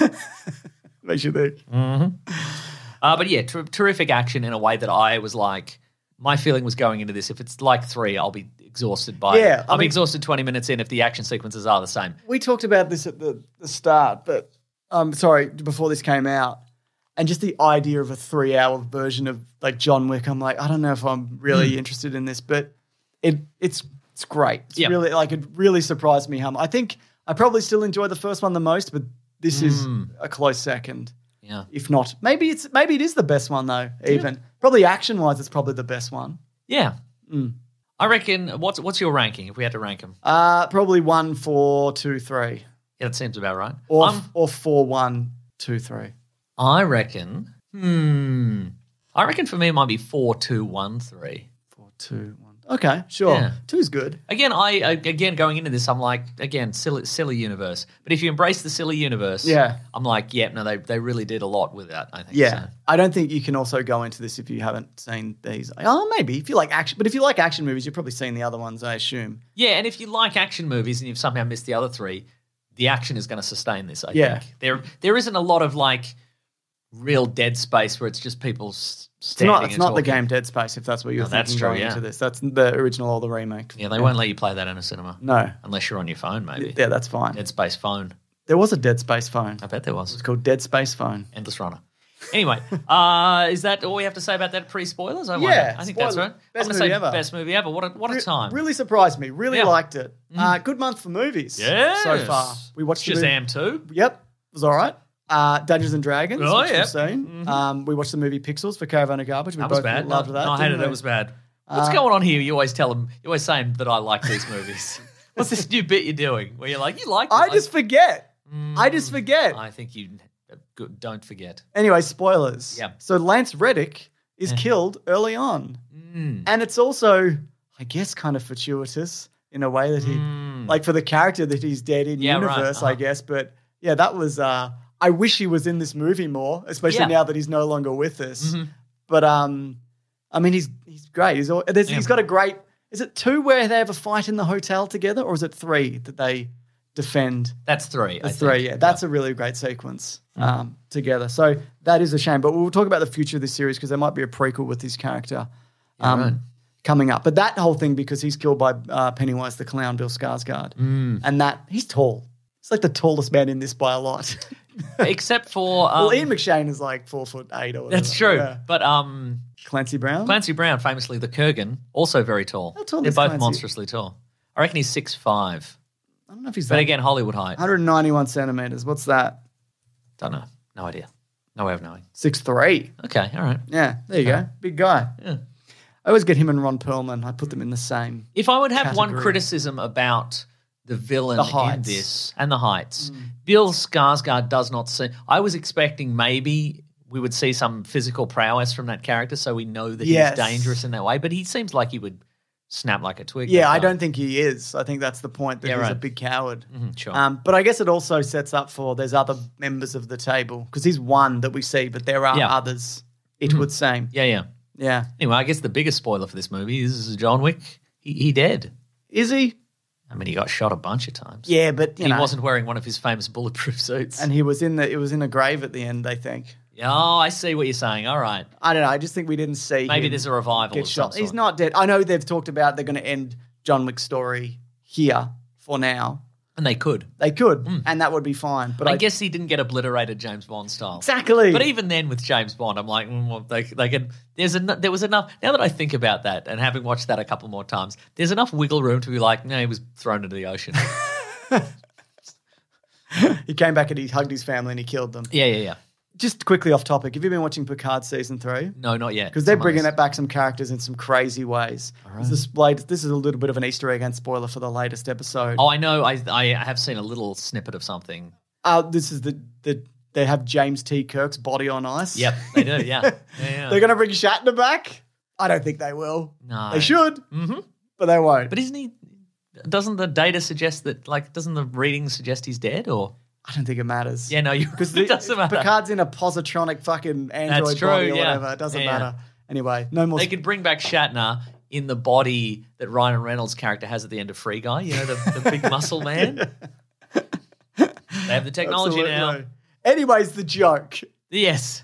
so, do you, you can explain it. Well, the, the the final true action sequence in this movie Mm. is that in order to uh, get out from under the boot. in- to- in order to get out table. from under the boot Of the big uh, table. of the big table, um, John Wick has to make it to a a, a church. What is that? Uh, the um, the Sacre Coeur Church. I've been there. I Okay, can't remember. he has to get to the he has, he has to get to the church. Is it relevant that I've been there? That I've travelled? No. Okay, No, but he no has to go up 222 Yes, steps. he has to get up to the. Well, I mean, he, that's not the challenge. They're not like, No. oh, you got up all the steps. well, that, I mean, for a normal person, that's Yeah. a challenge. Here's the keys to a 2015 Kia Rio. you can leave now. Um, the the the um, he has to get up the stairs and then he has to defeat Donnie Yen uh, in a in a In a duel. in a, in a classic pistol duel. Yeah. Uh, and, and if he if he wins and he lives, he can he can leave the life. Yep. Um, but in order to get to the place, he has to he has to go up the 200 plus uh, steps, which is sounds pretty easy. But first of all, he's been shot like a hundred times, Hit by a few cars. hit by many cars, and like just just hurled off a. He's been hurled off a nightclub, like second oh, yeah, he fell off a roof. He fell off a roof. Uh, yeah, Scott Adkins beat him up a bunch of times. Yeah. Uh, all sorts of things. Uh, and also, everybody's going to try and kill him while he's going up the stairs. Yep. And then he makes it all. He he he gun Grinds his way to the he, top. He gun foos his way up the up the stairs, and then he makes it to the top. And there's he's got a sort of mutton chop nemesis. Yep. Uh, at the top, who's he, we've encountered him a number of times, who just straight up kicks him, and he goes all the way down ba- back this. Well, he goes halfway Yeah. and then he kicks him again, and Yeah. he, goes, he falls. He falls the first one hundred and the next one And it's such a He really, you really see him. Yeah, and just it's such a like a sustained role, and it's it's like a Simpsons gag. Like you yeah, think it's, it's, gonna, it's a hot rod. That movie, Hot Rod, yeah, like that. You think he's gonna stop, and he just never does. No. and it's great. Yeah. it's such a good bit. Yeah, it and he has to really fight. is. And we're, again, we're at that level where, as the audience, we're like, oh, this has been, you know, we feel his exhaustion, Yeah. and and we've reached the absolute peak of like, oh, but this is gonna be the end. And then he gets kicked down, and we're like, oh, does he have to do this again? How many more of these guys are there? yes, but he does it with Donnie Yen this time. That's true, and that's cool. and Mister Nobody with his Yeah, dog, nice. which I uh, I like those inclusions. So here's my logistical question. We've always talked about this in the past where Sure. the number one thing is obviously if you're one of these assassins, you get paid in these gold coins, the value of which is completely random. You could it, it a gold get lucky. A gold a gold coin will get you a night in a hotel or a gun or a pack of cigarettes. They can't give you change. or at all. someone will beat you up. someone will beat you up maybe. Um, you might be able to get a room at a hotel. yeah, maybe. But the other question is, uh, what are all these guys for? Just like, in the world, just in the world. Well, the world because doesn't make sense because every homeless person is part of Yeah. like an underground establishment. Like, but so- there's no cops. No. like it's just an organized And crime. again, I'm not. I'm not complaining. I've I've, embra- No. I've embraced the world. I'm just wondering, like, because obviously in this universe we have like regular killers. Yeah. Like there's guys, you know, who are like um they're mob guys or they're ex-army guys or They whatever. might be sitting around waiting for a call. Exactly. We see a bunch of them in the first movie, and we see more of them in this movie. There, you know, they see the big bounty on John Wick, and they're like, "All right, time to put on my leather jacket and my newsboy hat and get a rifle out of the fridge or whatever, Damn. and let's go and get in a car and drive around." And then John Wick can knock them all off. So those guys already exist. Yeah. But there's also seemingly hundreds of these John Wick style elite super assassins who are like 10th Dan black belt in every martial art known to man and they know gun fu and they're all wearing bulletproof business suits. Yes. That's a that's a guy you would send to like kill a world leader or something. Yeah. Why are there so many of them? There's got to Who be. are they killing? Great This is unsustainable. They are mostly killing each other. If it's on, on- honestly, I guess it's like, and, and, and the the table is this Catholic Church style organization that seemingly has unlimited money and resources. Yep. What? Where's it? Where's it all going? Half What's of going? them are, are missing a finger. yeah. Yeah. It's wild. yeah, it really is. And John Wick has to. The reason he's In this universe, they kill the president every week. the reason John Wick is allowed to have the jewel is because he gets he he becomes part of a family Yeah. By doing a big task. Hmm. And then he gets the family crest burden to him and whatever. See, And- that's one of the, the fetch quests I feel it should have been compressed in because it's Yeah. like he goes to this family who are Eastern also the European rules are also way. sometimes arbitrary. Yeah, I mean, there's like okay, I'll get back to the fetch quest in a second, but like right at the end, who shoots who shoots Bill Skarsgård? John Wick because he's got his last bullet, right? Yeah, he's got one he bullet does, left. yeah, yeah. And then uh, the the harbinger, the arbiter, the guy, um, Clancy Brown's Yeah. like, "Well, you're free." And it's like you could have very easily said you broke the rules, and now we're going to send more guys at you. yeah, but he doesn't care. no, that's true. Yeah, you, all right. I'll He's a him. ref. Yeah, this true. Yeah, that's that is true. Yeah, but I was going to say so. They, he goes to this family and he's like, "Well, you know, I've got, I got. If I can, if you can make me part of your family, then I can go and do this duel." And they're like, "Well, you have to go and talk to Scott Adkins, and then he'll do Yeah. You know, and then it's a another. Then he I, has to. I trek would over. agree with you if I didn't love that sequence. which one? the bit in the nightclub and the card. Oh, I love the nightclub Yeah, yeah. thing. So but I'm I, fine- I I'm think fine the other. it, I yeah. think maybe, and again, I'm. I didn't. Make, it the family? yeah, I reckon family? maybe it should have been a case if he goes to the nightclub to meet the family. Yeah. and then they go. Hello. Well, they go hello. They'll be like, "Oh, you're bothering us in this nightclub. All right. Well, if you go and kill Scott Adkins over there, we'll make you part of the family." And then Yeah. it skips the. But I think what they what they've done here is that's that's going to set up a series, which we can talk about in a minute. Oh, is that that's connected? Okay, yeah, right. I believe so. Okay. But uh, I thought the idea also to end this in a duel, you'd think that wouldn't be super interesting. Yeah. But it is. But it is, right? And the way that he wins that duel, just very cool and fun. Yeah, yeah. Yeah. I was on the edge of my seat. I was on the edge of my seat. I'm seat. like, what's going to happen? I initially thought maybe Donnie Yen and, and John Wick would turn their guns on on Bill Skarsgård and just shoot him at the same time or whatever. but that's the that's not the rules. it's not the rule, see? It seems as the if they planned it out. Uh, but then, of course, there's a post credits that neither of us watched. That's right. That we, uh, Where the daughter of the hotel owner. yeah, goes after Donnie Yen Yeah, because right. he's allowed to see his, well, not see, he's allowed to visit his daughter Mm, again. that's right. uh, because he was in a big duel and he had a big fight Yeah. all the time. Anyway, we'll see that when it appears on YouTube, I guess, Yeah, or absolutely. probably probably Twitter at this point. Yeah. I mean, I'm fine with not saying that. Like, I get it. Okay, let's quickly do some reviews from people. Okay. And then we'll talk about the uh, what's Spin-offs next. and sequels and so forth. Anyway, I loved that weird duel. What loved a it. weird duel, Mm. Mason. If I may be critical, also, What? I think, and I and I should. I would have worn the bulletproof suit.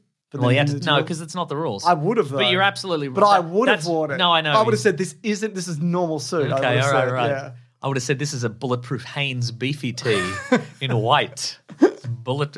Anyway, I should have gone back to rewatch, but I'm confident worst suits in the in the in the franchise. Oh, really? I feel like they're worse. What about Donnie Yen's outfits? I didn't like it. Really? No, I didn't didn't like like his initial outfit and wig, whatever Right. that was Uh-huh. that he was doing. But Yeah, after didn't, he got didn't like his turtleneck, didn't like any John Wick suits. Again, I should have gone back, but John Wick suits seem cheaper. okay. And you might be like, well, look at that Skarsgård. Looks like a clown.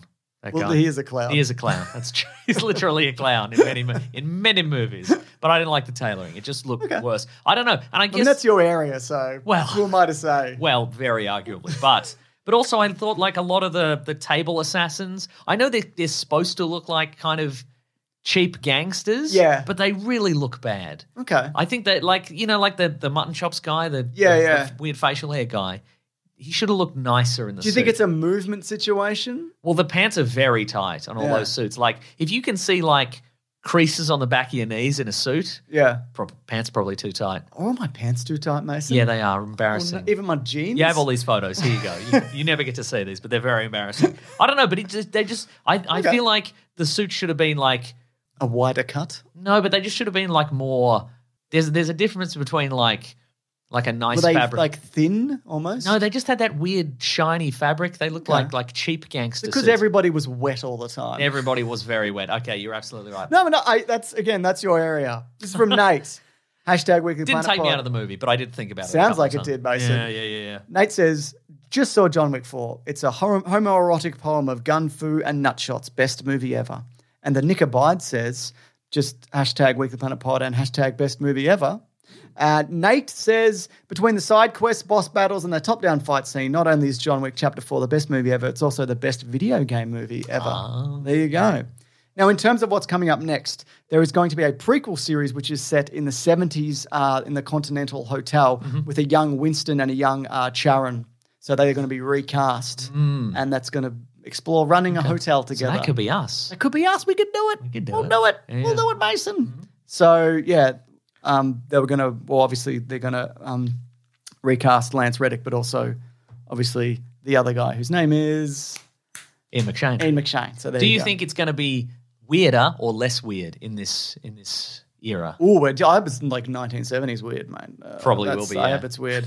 Or it's going to be like um, Dumbledore in Fantastic Beasts, where everybody's normal, normal, normal, normal, and then it gets super weird.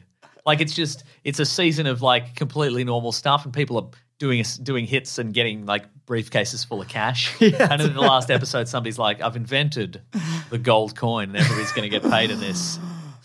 Oh, Oh, how much is it worth? Don't know. What do you think? what do you? And then this, the, the precedent is set. Nobody can agree on how much anything's worth. And then it's just like two decades of like the assassin economy is crumbling. What's happening? Or it's doing really well. I don't know. So there's that series, and there's also the uh, the ballerina series starring Mm. Ana de Armas. Yeah. And that follows her and the Rush the Ruska Roma family, which is the family that he goes and visits. Ah, okay. Becomes a part of, and it's set between movies three and four. So that's why Keanu Reeves is going to appear in it. Ah, apparently. right, right, right, right. Yeah. And that's why they said Ana de Armas isn't here. You just missed her. You just missed her. she was. She's She'll down, be back. She's You down the shops. Oh, you're going. Okay. Okay. We'll tell you said hi. Yeah. Uh, so there you go. That's coming up next. And I think this is not going to be the last John Wick appearance or movie. Well, I mean, I wouldn't be surprised if he should, if it's if the TV series is set between three and four. I wouldn't be surprised if he's in it a little bit. Yeah. You know? Is the Ballerina a TV series or is it a movie, Mason? I think it's a TV remember. I think it's a TV series. I think, you're it's right. a TV series. Yeah. But no, he is in it. He's been confirmed. Oh, right, right, right. Okay, great. Yeah. Also confirmed, I saw some footage of him. I think it's from John Wick Four, where he's Oh, like, it's a movie, apparently. Yeah, okay, right. He's uh, he's like he's like carrying crew bags up the stairs of that scene. He's just like, I'll I'll give you a hand. What's this in? Keanu What's it? Reeves. Oh, like really? Some behind the scenes footage. He's just like, Ah. "I'll give, give you a hand with these bags. Oh man, if I was a rich and famous and handsome Hollywood It's- actor, I wouldn't help anybody. Yeah, yeah, yeah, I've been the most selfish man in the Oh world, my, Mason. he's helpful. He's generous. He's got an age appropriate girlfriend. what can't he do? This guy. My goodness. I know. Ride a motorcycle. He can ride a motorcycle. Yeah, that's that's right. cool. All right, Mason, should we move on? Yes. Good movie. I think it was a good movie. Also, What, what's the next segment called? called What? We're Reading. What else is it called? what are we going to read? What do I do now? Shut up. Okay. I'm doing the thing.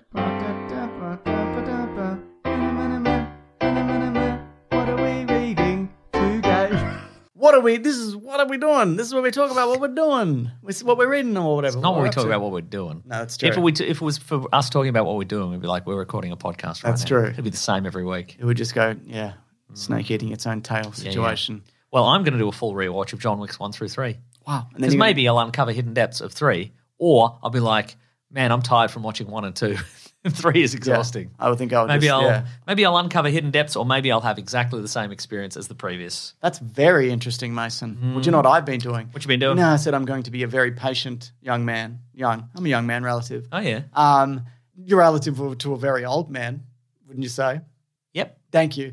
Uh, and I said I was going Not a compliment. I said I was going to wait for Resident Evil 4 remake until Oh, yes. it was cheap, and then I just went and You bought it. spotted. It. Okay, great. Uh, I know people are saying that games have gone up in price, Uh-huh. but in Australia they've been the same. but that's because they all started out. They all started high. out at like a hundred plus dollars. Yeah, yeah. This was like twenty fucking plus years ago. Yeah, yeah. And they now you can get them for maybe like eighty or ninety if you're Yeah, lucky, yeah. and brand new. Anyway, so I went and bought Resident Evil Four remake. Everybody loves Resident Evil Four, Mason including me. It's one of my favorite games.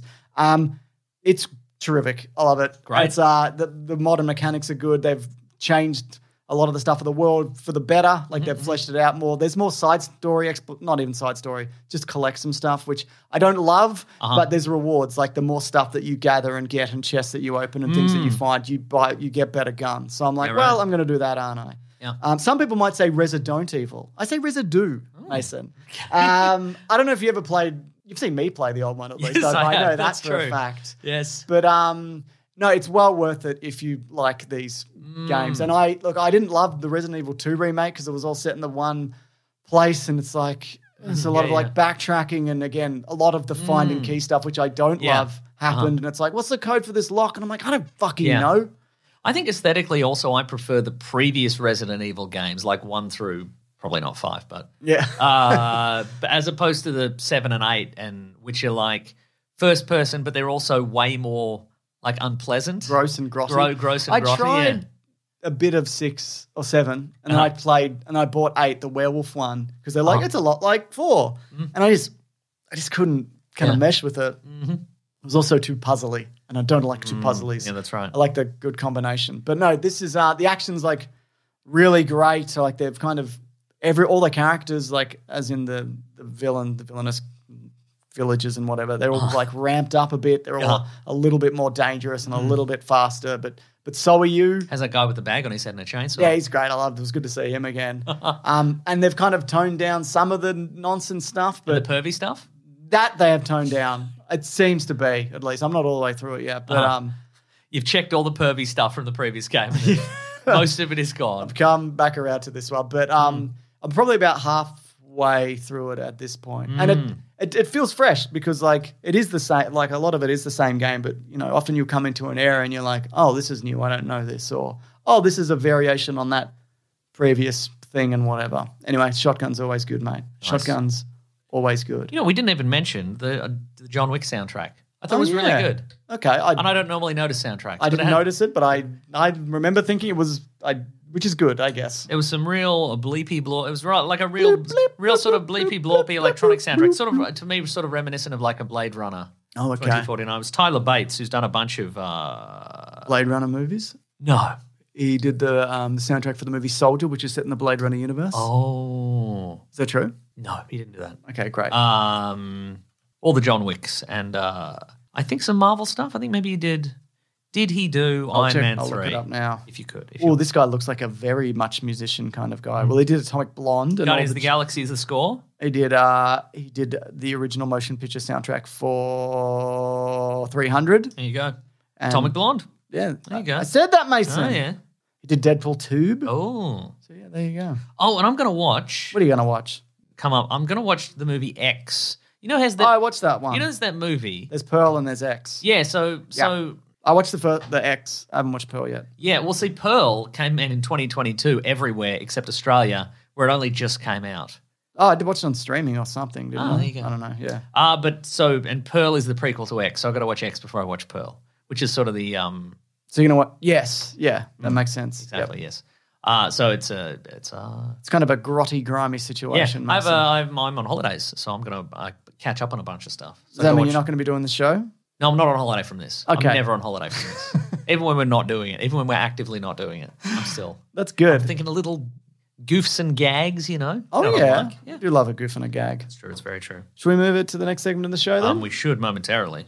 So you've seen X already? You thought? You, Yep. Was it good? yeah, To watch? it's good. It's Okay. got um, what's her name from Scream and Wednesday and whatever. Rachel Zegler. Jenna Jenna Ortega. Ortega, yeah, There we go. among others. Yeah, Love it. Mm. Anyway, the next second is called Letters. is it? It goes like this. The classic one was Letters, oh Goes like this. We love you. It goes like this. no. You said it goes like this. Oh, it goes like this. Yes. Can you be more specific? We're going to hear right now. We're going to do letters. No. He's back, my famous character. Long reaction time man. He's come back. if you uh, do want to reach the show, it's simple. All you have to do is hashtag Weekly It's Weekly just a Planet. case of one, two, three. That's all you got to do. Mm-hmm. Hashtag Weekly Planet Pod on Twitter or weeklyplanetpod at gmail.com. Also, tell me, what's the best walking treadmill? What's the best walking treadmill so I can walk and work at the same time? Are you going to do a walk and work? I'm going to walk and work, Mason. Oh. Yeah. Like so, a standing desk and a. Yeah. Huh. Or I'll stand and play a video game I want to finish Resident Oh, Evil. But. I'll probably finish it before Right, the, right, right. the thing arrives or Uh-huh. whatever. Yeah. You could just stand on the spot. I want something that's quiet.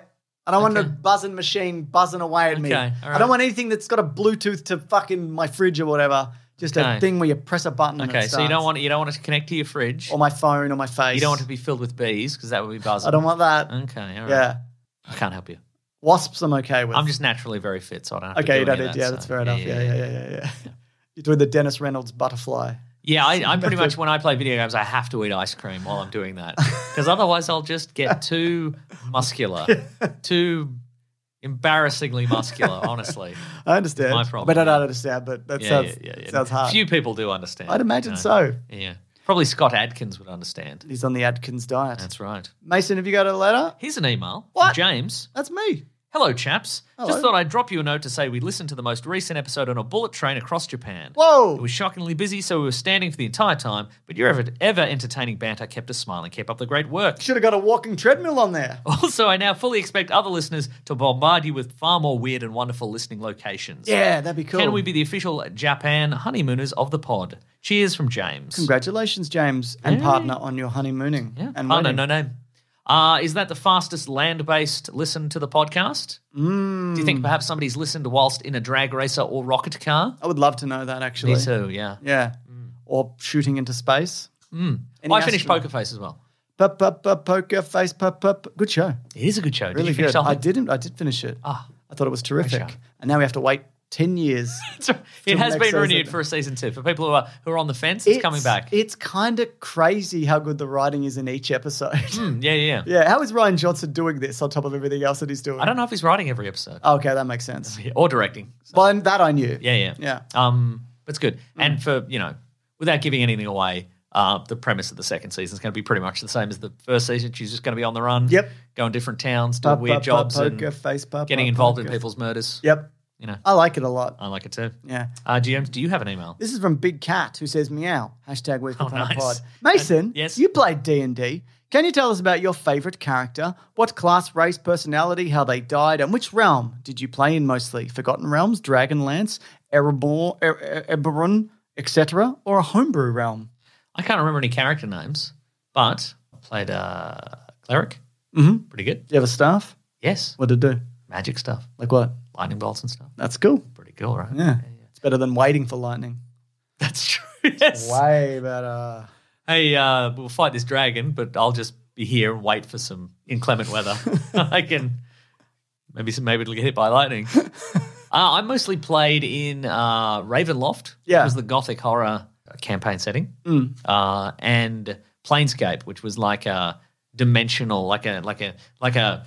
There's a it's it's set in a there's a there's a place called Sigil, which is the center of the universe, and then from Sigil you can go to like any number of different dimensions. You can go to like different other different realms. You can Okay. go to like uh, like heavens and hells and uh, world uh, dimensions where everybody's a mechanical man or whatever. Everyone's a mechanical man. Everyone's a mechanic. Everyone's a mechanical man. I'm just looking at the one time that I played Dungeons and Dragons. Was that this was for on D&D's for D&D's for nerds? It's from Yeah. 2015, but the episodes are still available. Uh, it's called D&D is for James. Nice. If you are interested uh, in any of those, I was the last time. I remember it was just before or around the time I had Hmm. Yeah. my first kid. So I haven't interacted with anybody since. Yeah, yeah. It's the Right. last time I've been in a room with anybody. Yeah, yeah. Uh, A lot of good, lot of good uh, Dungeons and Dragons settings. Some of which Yeah. sort of went by the wayside and became non-canonical, and I think some have come back. Yeah. There's one called Spelljammer, which is basically like uh, mag- magic-powered spaceships. Okay. that look like you know, like like you know, ocean ships. Yeah, You but they go space. They go space. That's great. It's like you know how there was that old belief that planets existed in these crystal spheres, and then in between there was like like weird eth- eth- ethereal like ectoplasm. okay. Well, That was a theory? yeah. Well, I don't know if it was a theory, but I think it was maybe a sci-fi concept. Sounds real to me. Mm, but in the in the Dungeons and Dragons universe, that's real. Oh, okay. You get, a, get on a magic powered ship and you can.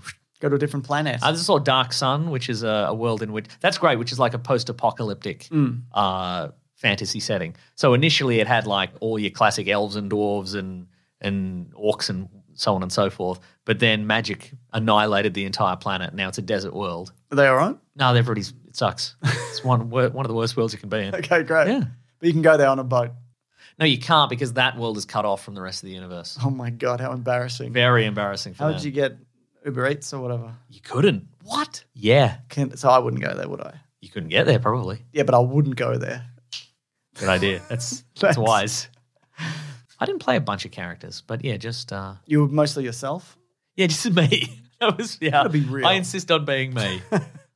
you gotta you gotta do that. You got to do it. yeah. But I'll be playing um as I mentioned, I'll be playing in, in the Melbourne International Comedy Festival. I Oh, think I yeah. mentioned that previously. It's going to be apparently like a 1960s kind of uh, Austin Powers style adventure. So it's not Oh going to be a fantasy my adventure at all. But uh, who's what's going to happen there? You're going to be playing you. Yeah. yep. Yep. Yeah.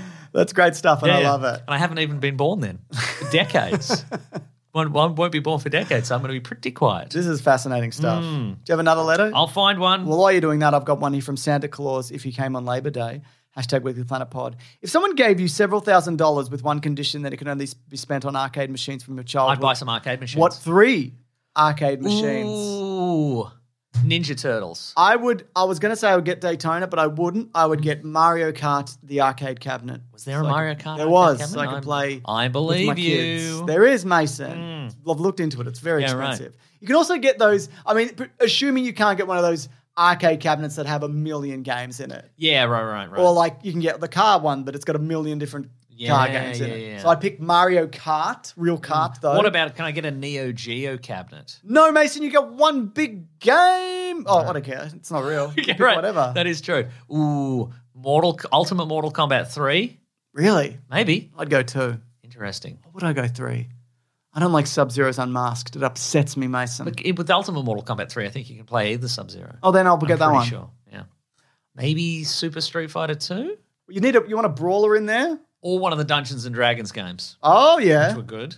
Uh, Brawler, maybe a Brawler. Well, I said Nin- Ninja Turtles. You did say Original Ninja Turtles. Yeah, yeah. A Ridge Ninja. What about yourself? Daytona, you said no. No, I'd get the Mario Kart one. Yeah, yeah. And you've got two. You've got two more then. I'd get. Oh, I'd get the Star Wars Arcade Battle Pod. It's a new one. It's a big pod, and Wow. you sit in it. You, It's a new one. It's, you it's like from like five years ago. That's It- not your childhood, James. has to be from your childhood. Doesn't say childhood. Yes, it does. It says you can pick one from five years ago. It doesn't say that. Does say childhood. You're right. Yeah. Damn it. Is there another Star Wars thing that would be good? Yeah, but they're not. I want that one. Well, you we- can't have it. I mean, there's that one that we played. You know, we did the arcade one. It's on Caravan of Garbage. Oh, yeah. Where you fight Boba Fett and whatever. Yeah, I want, right, I want right, that right. one. I don't want. Mm. Can I have? Can I get the pod race? No, I don't want another racer. Mm-hmm. Fuck. I'd, I'd probably want an arcadey fighty one. So I guess I'd pick.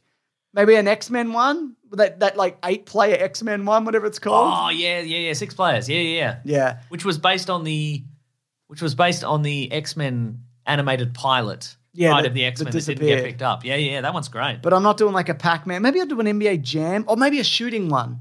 yeah, nice. Like a time crisis. Yeah, something like. Oh no! Remember that sniping game? Yes. We had a sniper rifle Sure. and you look through the scope and this, it's got a little screen in the scope so it looks Uh-huh, closer uh-huh, through the uh-huh, scope. I get that. So I get Mario Kart, Yeah, I nice. get that weird sniping one, and I get the third thing that I said, which is what a, the Star Wars Battle Pod. You can't have this. Don't slip that one through the end. The you can't do the it. X-Men one, man. You thought. You thought about that. I've thought about, and I could never obviously do it because it's ridiculous. Hmm. What if I dug a room out under this studio and just put, Okay. and just put arcade cabinets in there? And not me, obviously, like pay somebody to and do not it. plugged in, just Yeah. falling on their side and stuff. Yeah, it'd only be what hundred thousand dollars. That's too much, I think. maybe Yeah, no, it's too much. I I reckon okay, but I've got unlimited money here. that is true. Actually, How would they even get the battle pod under the, the ground? as soon as we finish recording this, I'll think of a million arcade cabinets, and I'm like, oh my god, that one was incredible. Okay, Because like Mortal Kombat One was Yeah. like a revelation at the time. I remember. It was, yeah, but by today's standards, It's not- not it's as like great, it's yeah. good, but it's Yeah, like yeah. yeah. Hmm. but again, it is from our childhood, isn't it? point blank, No, original Double Dragon. One of those ticket games where you throw a basketball. Oh, and then I could, hoop. re- You and I could win. set up a booth in my house. Yeah. and I could exchange the tickets for stuff in my house. I already have, and then I could use the about. stuff in my house. something to think about. Here's an email from Daniel. Daniel, Uh, hello, James Maso and Little Maso. not Terminator Two is the arcade game. I want a free free handing gun, except for the Oh, because they were mounted, weren't they? Yeah, Uh, long time listener, first time writer. Just wanted to ask if you played the new Resident Evil 4 yet. James has. no, haven't. Maybe I'll get into that. No, you won't. Uh, it's so amazing and definitely worth it. I also wanted to ask you guys if you had any plans to cover the controversial W.S. Anderson Resident Evil movies on Caravan of Garbage. yes. Fun fact: somehow combined, they grossed well over one billion dollars. Yeah, they re- they did really well in total because they don't co- cost anything to Don't make. cost anything to make, Um, yeah. there's just a lot of them, so we've Yeah, definitely yeah, yeah. thought about it, but we'd have to break it up. And, yeah, yeah, because there's six or seven or yeah. something of them. The, So, the sweet spot I've found with series, it's um, Caravan and Garbage. It's three.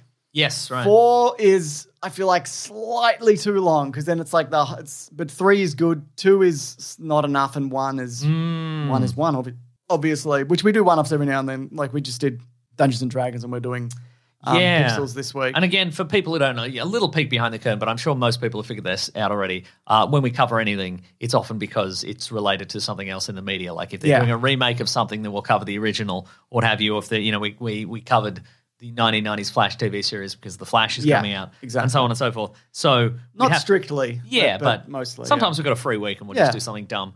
Um, but yeah, I think we'd probably wait for like something Resident Evil related. I know there was a was Resident a Evil TV series, but nobody yeah. watched it. Yeah. so- and Lance Reddick was in it. and Lance Reddick was in it, and obviously, like, yeah, now would have been a good time with Resident Evil Four coming out, but um, yeah, no, I do want to look at those. There's just a lot of stuff. Yeah, yeah. to look at, though. I'm always looking at something. Always looking at something. Also, I think people are going to be pretty happy with what's coming up after Pixels. No spoilers. Should we just tell people if you're listening here?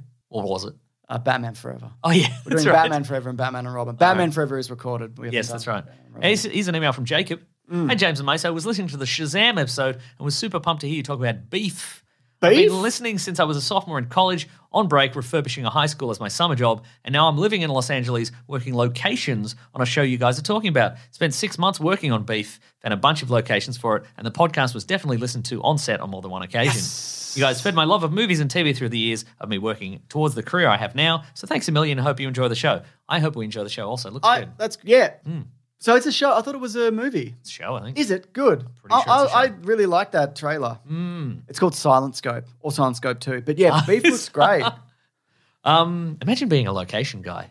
That's your job. You go around. You're like, this, This is pretty good. good. This one looks bad. They're like, actually, they're like, find a bridge. Find a. We're going to record under a bridge. You're going to find some good bridges, and you'd, ha- you'd have a library of bridges in your head. Ready to Weird go. bridges, you know. Yeah, you would. I guess it would help if you spent a lot of your life under bridges. yeah, You know, like a just generally. troll. Yeah, you're like a troll. That's interesting. Yeah. Um, I guess also like because it used to be for like if you were an art comic book artist or I guess any kind of artist, you used to, used to have a bunch of like reference photos of Yeah, things that you yeah, yeah, needed. yeah, yeah, But now you can just be like, what does a chair look like? And you Google it or whatever.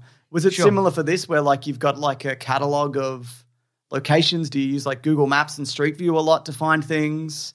Like, do you ring around, be like, I need an abandoned petrol station, It's true, yeah. Shazam 2 or whatever? Yeah, yeah. Well, you ring all the people that live in abandoned petrol stations. And you go, hello. That's right. And then if nobody answers, Mm-hmm, then you know it's abandoned. That's true. This is from Nicole Mason. Hello, Nicole. It says hashtag Weekly Planet Pod. Since Aussies are basically Floridians, that's probably true. All What- right, yeah. Who do you think would win in a fight? A gator, as in an alligator, Mm-hmm. Sure. Or the largest dog you've ever seen? A gator. Depends on the size of the gator, but yeah, probably the gator. Yeah, yeah, yeah. Yeah. Yeah, don't, under, don't underestimate a gator. Or a I don't think anybody does, but Some people do. You Yeah. see videos of someone's like tapping the inside of their mouth and then they death roll someone's arm off. yeah. Happens quite a lot. A dog will rarely death roll your arm off. Yeah, it can happen, More often than not, it won't. It'll go, roll. ah, I love scritches. Ah. That's true. Biggest dog? It would have to be the biggest vicious dog Gators might enjoy scritches, Yeah. but they will sacrifice scritches just to bite you. just to bite you. Yeah, because they love eating flesh more than they like getting scritches. as That's far as true. I know. Yeah, I agree with you. Yeah, but no, uh, gator. And also, they've got the home ground advantage, the water. Mm. The land would be different, but even then, I don't think a dog could kill an alligator Yeah, as yeah. easy as an alligator could kill a dog. That's true. Yeah. Oh, and here's one one more email, James. Yeah. This is from Sam. Sam, This is a good question, I think. How you watch films? Hey, James and Mason. Recently, I decided to how watch, you watch films? How you watch films? Recently, I decided to watch The Banshees of Inisherin for a film assignment. I gotta watch that. To watch, I did. It's good. Uh, to watch and write a review for my film class, and it got me wondering: How do you two watch films for Caravan of Garbage or straight to streaming films? Do you take notes while in watching, or do you take mental notes and write them down later? Personally, I don't like any interruptions or t- even to have anyone in the house, as I sometimes struggle to pay attention at the best of times to the point I will turn my phone off and put it in a different room completely. Uh, hope you both well. That's from Sam. That's a great question. Depends Great what question. I'm doing. If I'm going to the movies, I don't write any notes Uh-huh. unless I. This doesn't even really happen. But if I re- think of something where I'm like, I'm 100% not going to remember that. But Yeah, then yeah. when I think Yeah, about yeah. that, I'm not going to remember it. You I'll probably stand just up in remember. front of the screen and you get your phone out and you're tippy tappy, And I, yeah. and your phone's not on silent, Yep. and it goes clickety clickety clickety clack. And then I get my phone to read it back to me out Nice. loud. Nice. Um, but no, so I don't in the movies. And what's go- and what, what's good about that now is because we see movies. I don't know, like well, I normally see them on like Thursday, Friday. We Uh-huh. record like Saturday, Sunday normally. And so I've like, I've thought about it, and over a few Yeah. days, like I'll think of a thing, I'll open my phone, I'll punch in a quick note, yeah, and that's how I I Mm. used to because we used to, I used to do reviews straight away. So you do- you know you're trying to get your thoughts straight, and it's just not a good way to do it. Mm-hmm. Yeah. I have found. So other people are yeah, good yeah. at that, but so I'm not. so same. So if I'm watching in the cinema or I'm watching a new release for the first time at home, Hmm. if uh, yeah, it's obviously in the cinema it's phone away. Yeah, Uh, f- same at home. If it, if it's a first run thing and it's just watch the whole thing, gather your thoughts, yep, maybe make notes if it's you know interesting. Caravan of garbage. that's different. It's always phone at the ready. Yeah. Sometimes I take notes, sometimes I don't. And within five minutes, I'll know whether it's a note film or not a Yeah. note film. But it's no, there's no correlation. Like it's never like, well, I've seen this movie ten times, so obviously I won't need to take notes. Yeah. It's just whatever, yeah, or or, or vice versa. Sometimes if, if I'm if I'm watching this movie for the first time, maybe I don't need to take notes, Mm. or maybe I do. But obviously, there is a correct way to watch movies, which is just No. watch it. no distractions. You know, get it. You know, watch the whole thing. How does it make you think? How, what does it make you think? How does it make you feel? Etc. Yeah. You know, watch it uninterrupted. Don't don't be distracted by anything. But for Caravan of Garbage, I don't think anybody is watching those videos for us to be like, yeah, I watched this and it had a great vibe and I had a nice time. Anyway, Yeah. bye everyone. Yeah. They want us to be like, did you see that guy? That Pick extra? a weird specific yeah. thing. Yeah. Did you see that extra at the in the first minute? He was like, well, you know, we want we want Yeah. that and we want the visual, and so you kind of have to sacrifice Exactly. the viewing experience for And- for and- if- yeah. well, often for Caravan of Garbage as well, we've seen it. That's Pixels true, yeah. we hadn't seen, and that was it's dreadful. It's a dreadful movie. So yeah, the, the way to not watch these movies is to stop every minute and go scribble a note. Yeah. down, but you got to. sometimes you do, and like my notes will be. I'll usually have my laptop open. and I've got like a rough idea. Like you've, if anybody's seen Caravan of Garbage, there is a rough kind of outline to it that Yeah. I try and keep to. And afterwards, I'll organize my notes properly, and I'll watch as much behind the scenes stuff as I can. Hmm. Find interviews, IMDb trivia, which is mostly lies, but I'll, Yeah, have, a, I'll right. have a look down there. Sometimes well. entertaining lies. Sometimes, yeah. Sometimes, and often at IMDb, like you read the same thing like six times. Yeah, like right. somebody's put it in, which is, I guess, annoying. If I were watching a movie for film studies, I would like to think that I'd watch it twice. Yeah. Once watching it purely with no distractions, and then second time Yeah. make notes. But based on my own academic experience at uni, I would probably only watch it the once. Mm. Yes, that's right. because I'd left myself literally only two hours to watch the movie and write the essay. Yeah. And uh, I would watch it and take notes probably at the same Absolutely. time. But I, yeah, if if you're doing it for any academic purposes as opposed for you know cheap entertainment on YouTube, I would say watch it once all the way through. Yeah, exactly. before you even before you even learn anything about it or even Yeah. do any research or learn about the director or the, the behind the scenes or the making of or what have you, just watch it and go, what did I what did I feel? What am I feeling What right am I now? feeling? Did I get a good vibe? Oh, another thing I'm doing, I'm taking down time codes for um, thumbnails. Oh yeah, right. So I do that as well, as Sure, I- yeah. as I go through. Mm. But uh, no, it is. It's not like the way that I watch movies of Caravan of Garbage is not how I watch anything else. Like that is specifically yeah. for that. And again, it's like you said, it's to be like, what's something that's somebody maybe hasn't noticed, or maybe someone has mentioned this, but I could elaborate on it, or Yeah, right, or right, I, right. I think it's something that I want to ask you specifically, or Mm. something like that. But yeah, Mm. cool. That's all the letters, I think. That's all the letters. Great. That's all the letters, and that means it's the whole show. Wow. Thank you so much uh, for listening, folks. We appreciate it. I appreciate it too. Uh, come uh, come see me during the Melbourne International Comedy Festival, which is next week. I have to. after. No, you don't have to. Thank God. You've seen enough of me this week. Uh, folks, uh, thank you for listening. Thank you for telling your friends about the podcast in a positive way, because Yeah. then they listen and we get more listeners. That's what we like. Don't be rude. That's right. Don't be rude. Uh, and thank you for leaving a five star review on your podcaster of, not on your podcaster of choice. Could be That'd us. podcaster. Don't write on us. No. On your podcast listening device of choice, app, catcher thing. James, do you have any reviews? I do, yes. Great. I got two here. This is from Setma, who says, ha, five stars just in app. You can just do it in app. Ha! Five stars. Amazing 100% time, eh, uh, amazing 100% of time, 80% of the time. Nice. Come for the Red Hot Comic Movie News straight into your butthole and stay for the da na na na na na na na. What are we, Westworld today? And no, I did not have a mild stroke writing this. Thank you so much. You're very for These things which are no longer in the show. That's right. But uh, this is from Jason. It's an older review, that's why. From Jason, who uh, from just north of Miami, who says, "Ouch, my butthole! I started listening from the start of the podcast for a better rude. understanding of cinema. we shouldn't put that in the podcast. Uh, for a better understanding of cinema found in comic book movies. And as I get older, I have less time, and I listen for the summaries of mediocre movies I don't have time to watch. From what I gather, I'm about the same age as the host, and I find their energy levels have mirrored mine. 21. What the podcast reminds me, of. I'm not alone in getting old and tired.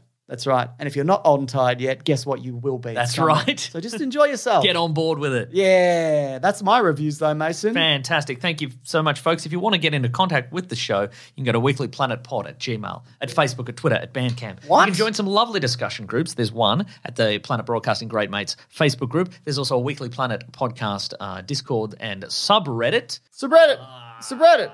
Subreddit. That's the stuff. If you want to uh, follow some people on the socials, first of all, follow Rob Collings, who edits this podcast and does the socials and How makes little videos and does all kinds of stuff. He's at Raw Collings on Twitter. He's at The Weekly Planet on Twitter. You can also follow me, Wikipedia Brown on Twitter, Nick Maso on Instagram. James is Mr. Sunday Movies everywhere. How does if he you want it? to support that, you, you, you do, you're on the computers and stuff. Oh yeah. You got all this stuff here. I'm loading up something now you're going to love, Mason. Okay. Yeah, I'm very excited for that. Uh, folks, if you want to support the show, you can go to patreon.com slash Mr. Sunday Movies. You can chuck in a buck or rather an amount you would not miss. Ooh. Big spenders can go to bigsandwich.co, uh, nine US dollars per month bonus podcast, movie commentaries, early videos, ad-free podcast fee feed. Phoebe. It's not an ad-free podcast fee. Oh, I guess no, the nine dollars is. Five for fun. Anyway, folks, uh, there's also t-shirts at teepublic.com. Just search for the Weekly Planet. How many are there? A million at this point, probably. We don't know. Yeah, maybe. There's official ones, there's fan made ones, there's ones that are obviously meant to like trick people who who have heard this and they search and it's just a weird um, bootleg one that are bad. Yeah. You'll know. Yeah, you'll know. Get, a, get develop a discerning eye. You'll figure it out. Okay, whatever. That's right. And uh, thank you to the Brute and the Basilisk and Rackham for all our musical themes. Next week is probably another big movie, right? Yeah, we're doing Dungeons and Dragons. Dungeons and Dragons. We've seen it already, but maybe I'll see it again. It's Speaking about time. Speaking of Mason, Oh yes. this bloody situation, Dungeons and Dragons, uh, that video game you're talking about. Whoa. Because we're going to start hopefully playing video games um, Oh. on um, what's it called? On the Big Sandwich. On the, on the big sandwich. On the big sandwich. Oh, where, where are you getting that? You getting that off? That's uh, just Off online. a MAME or something? yeah, or some kind of online situation. Love an online situation. Because I want to try. about and, it. I want to. I want to try and beat Mario, original Mario, because I said I could.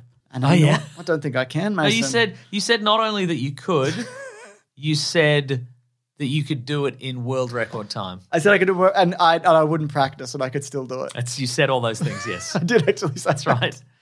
And like you didn't specifically denigrate the people who have already broken those records. I mean, I could have, it's but I implied. chose not to. It's yeah. implied though, isn't it? It's implied in saying what you're saying there. Very, very dismissive. I think. You don't believe me?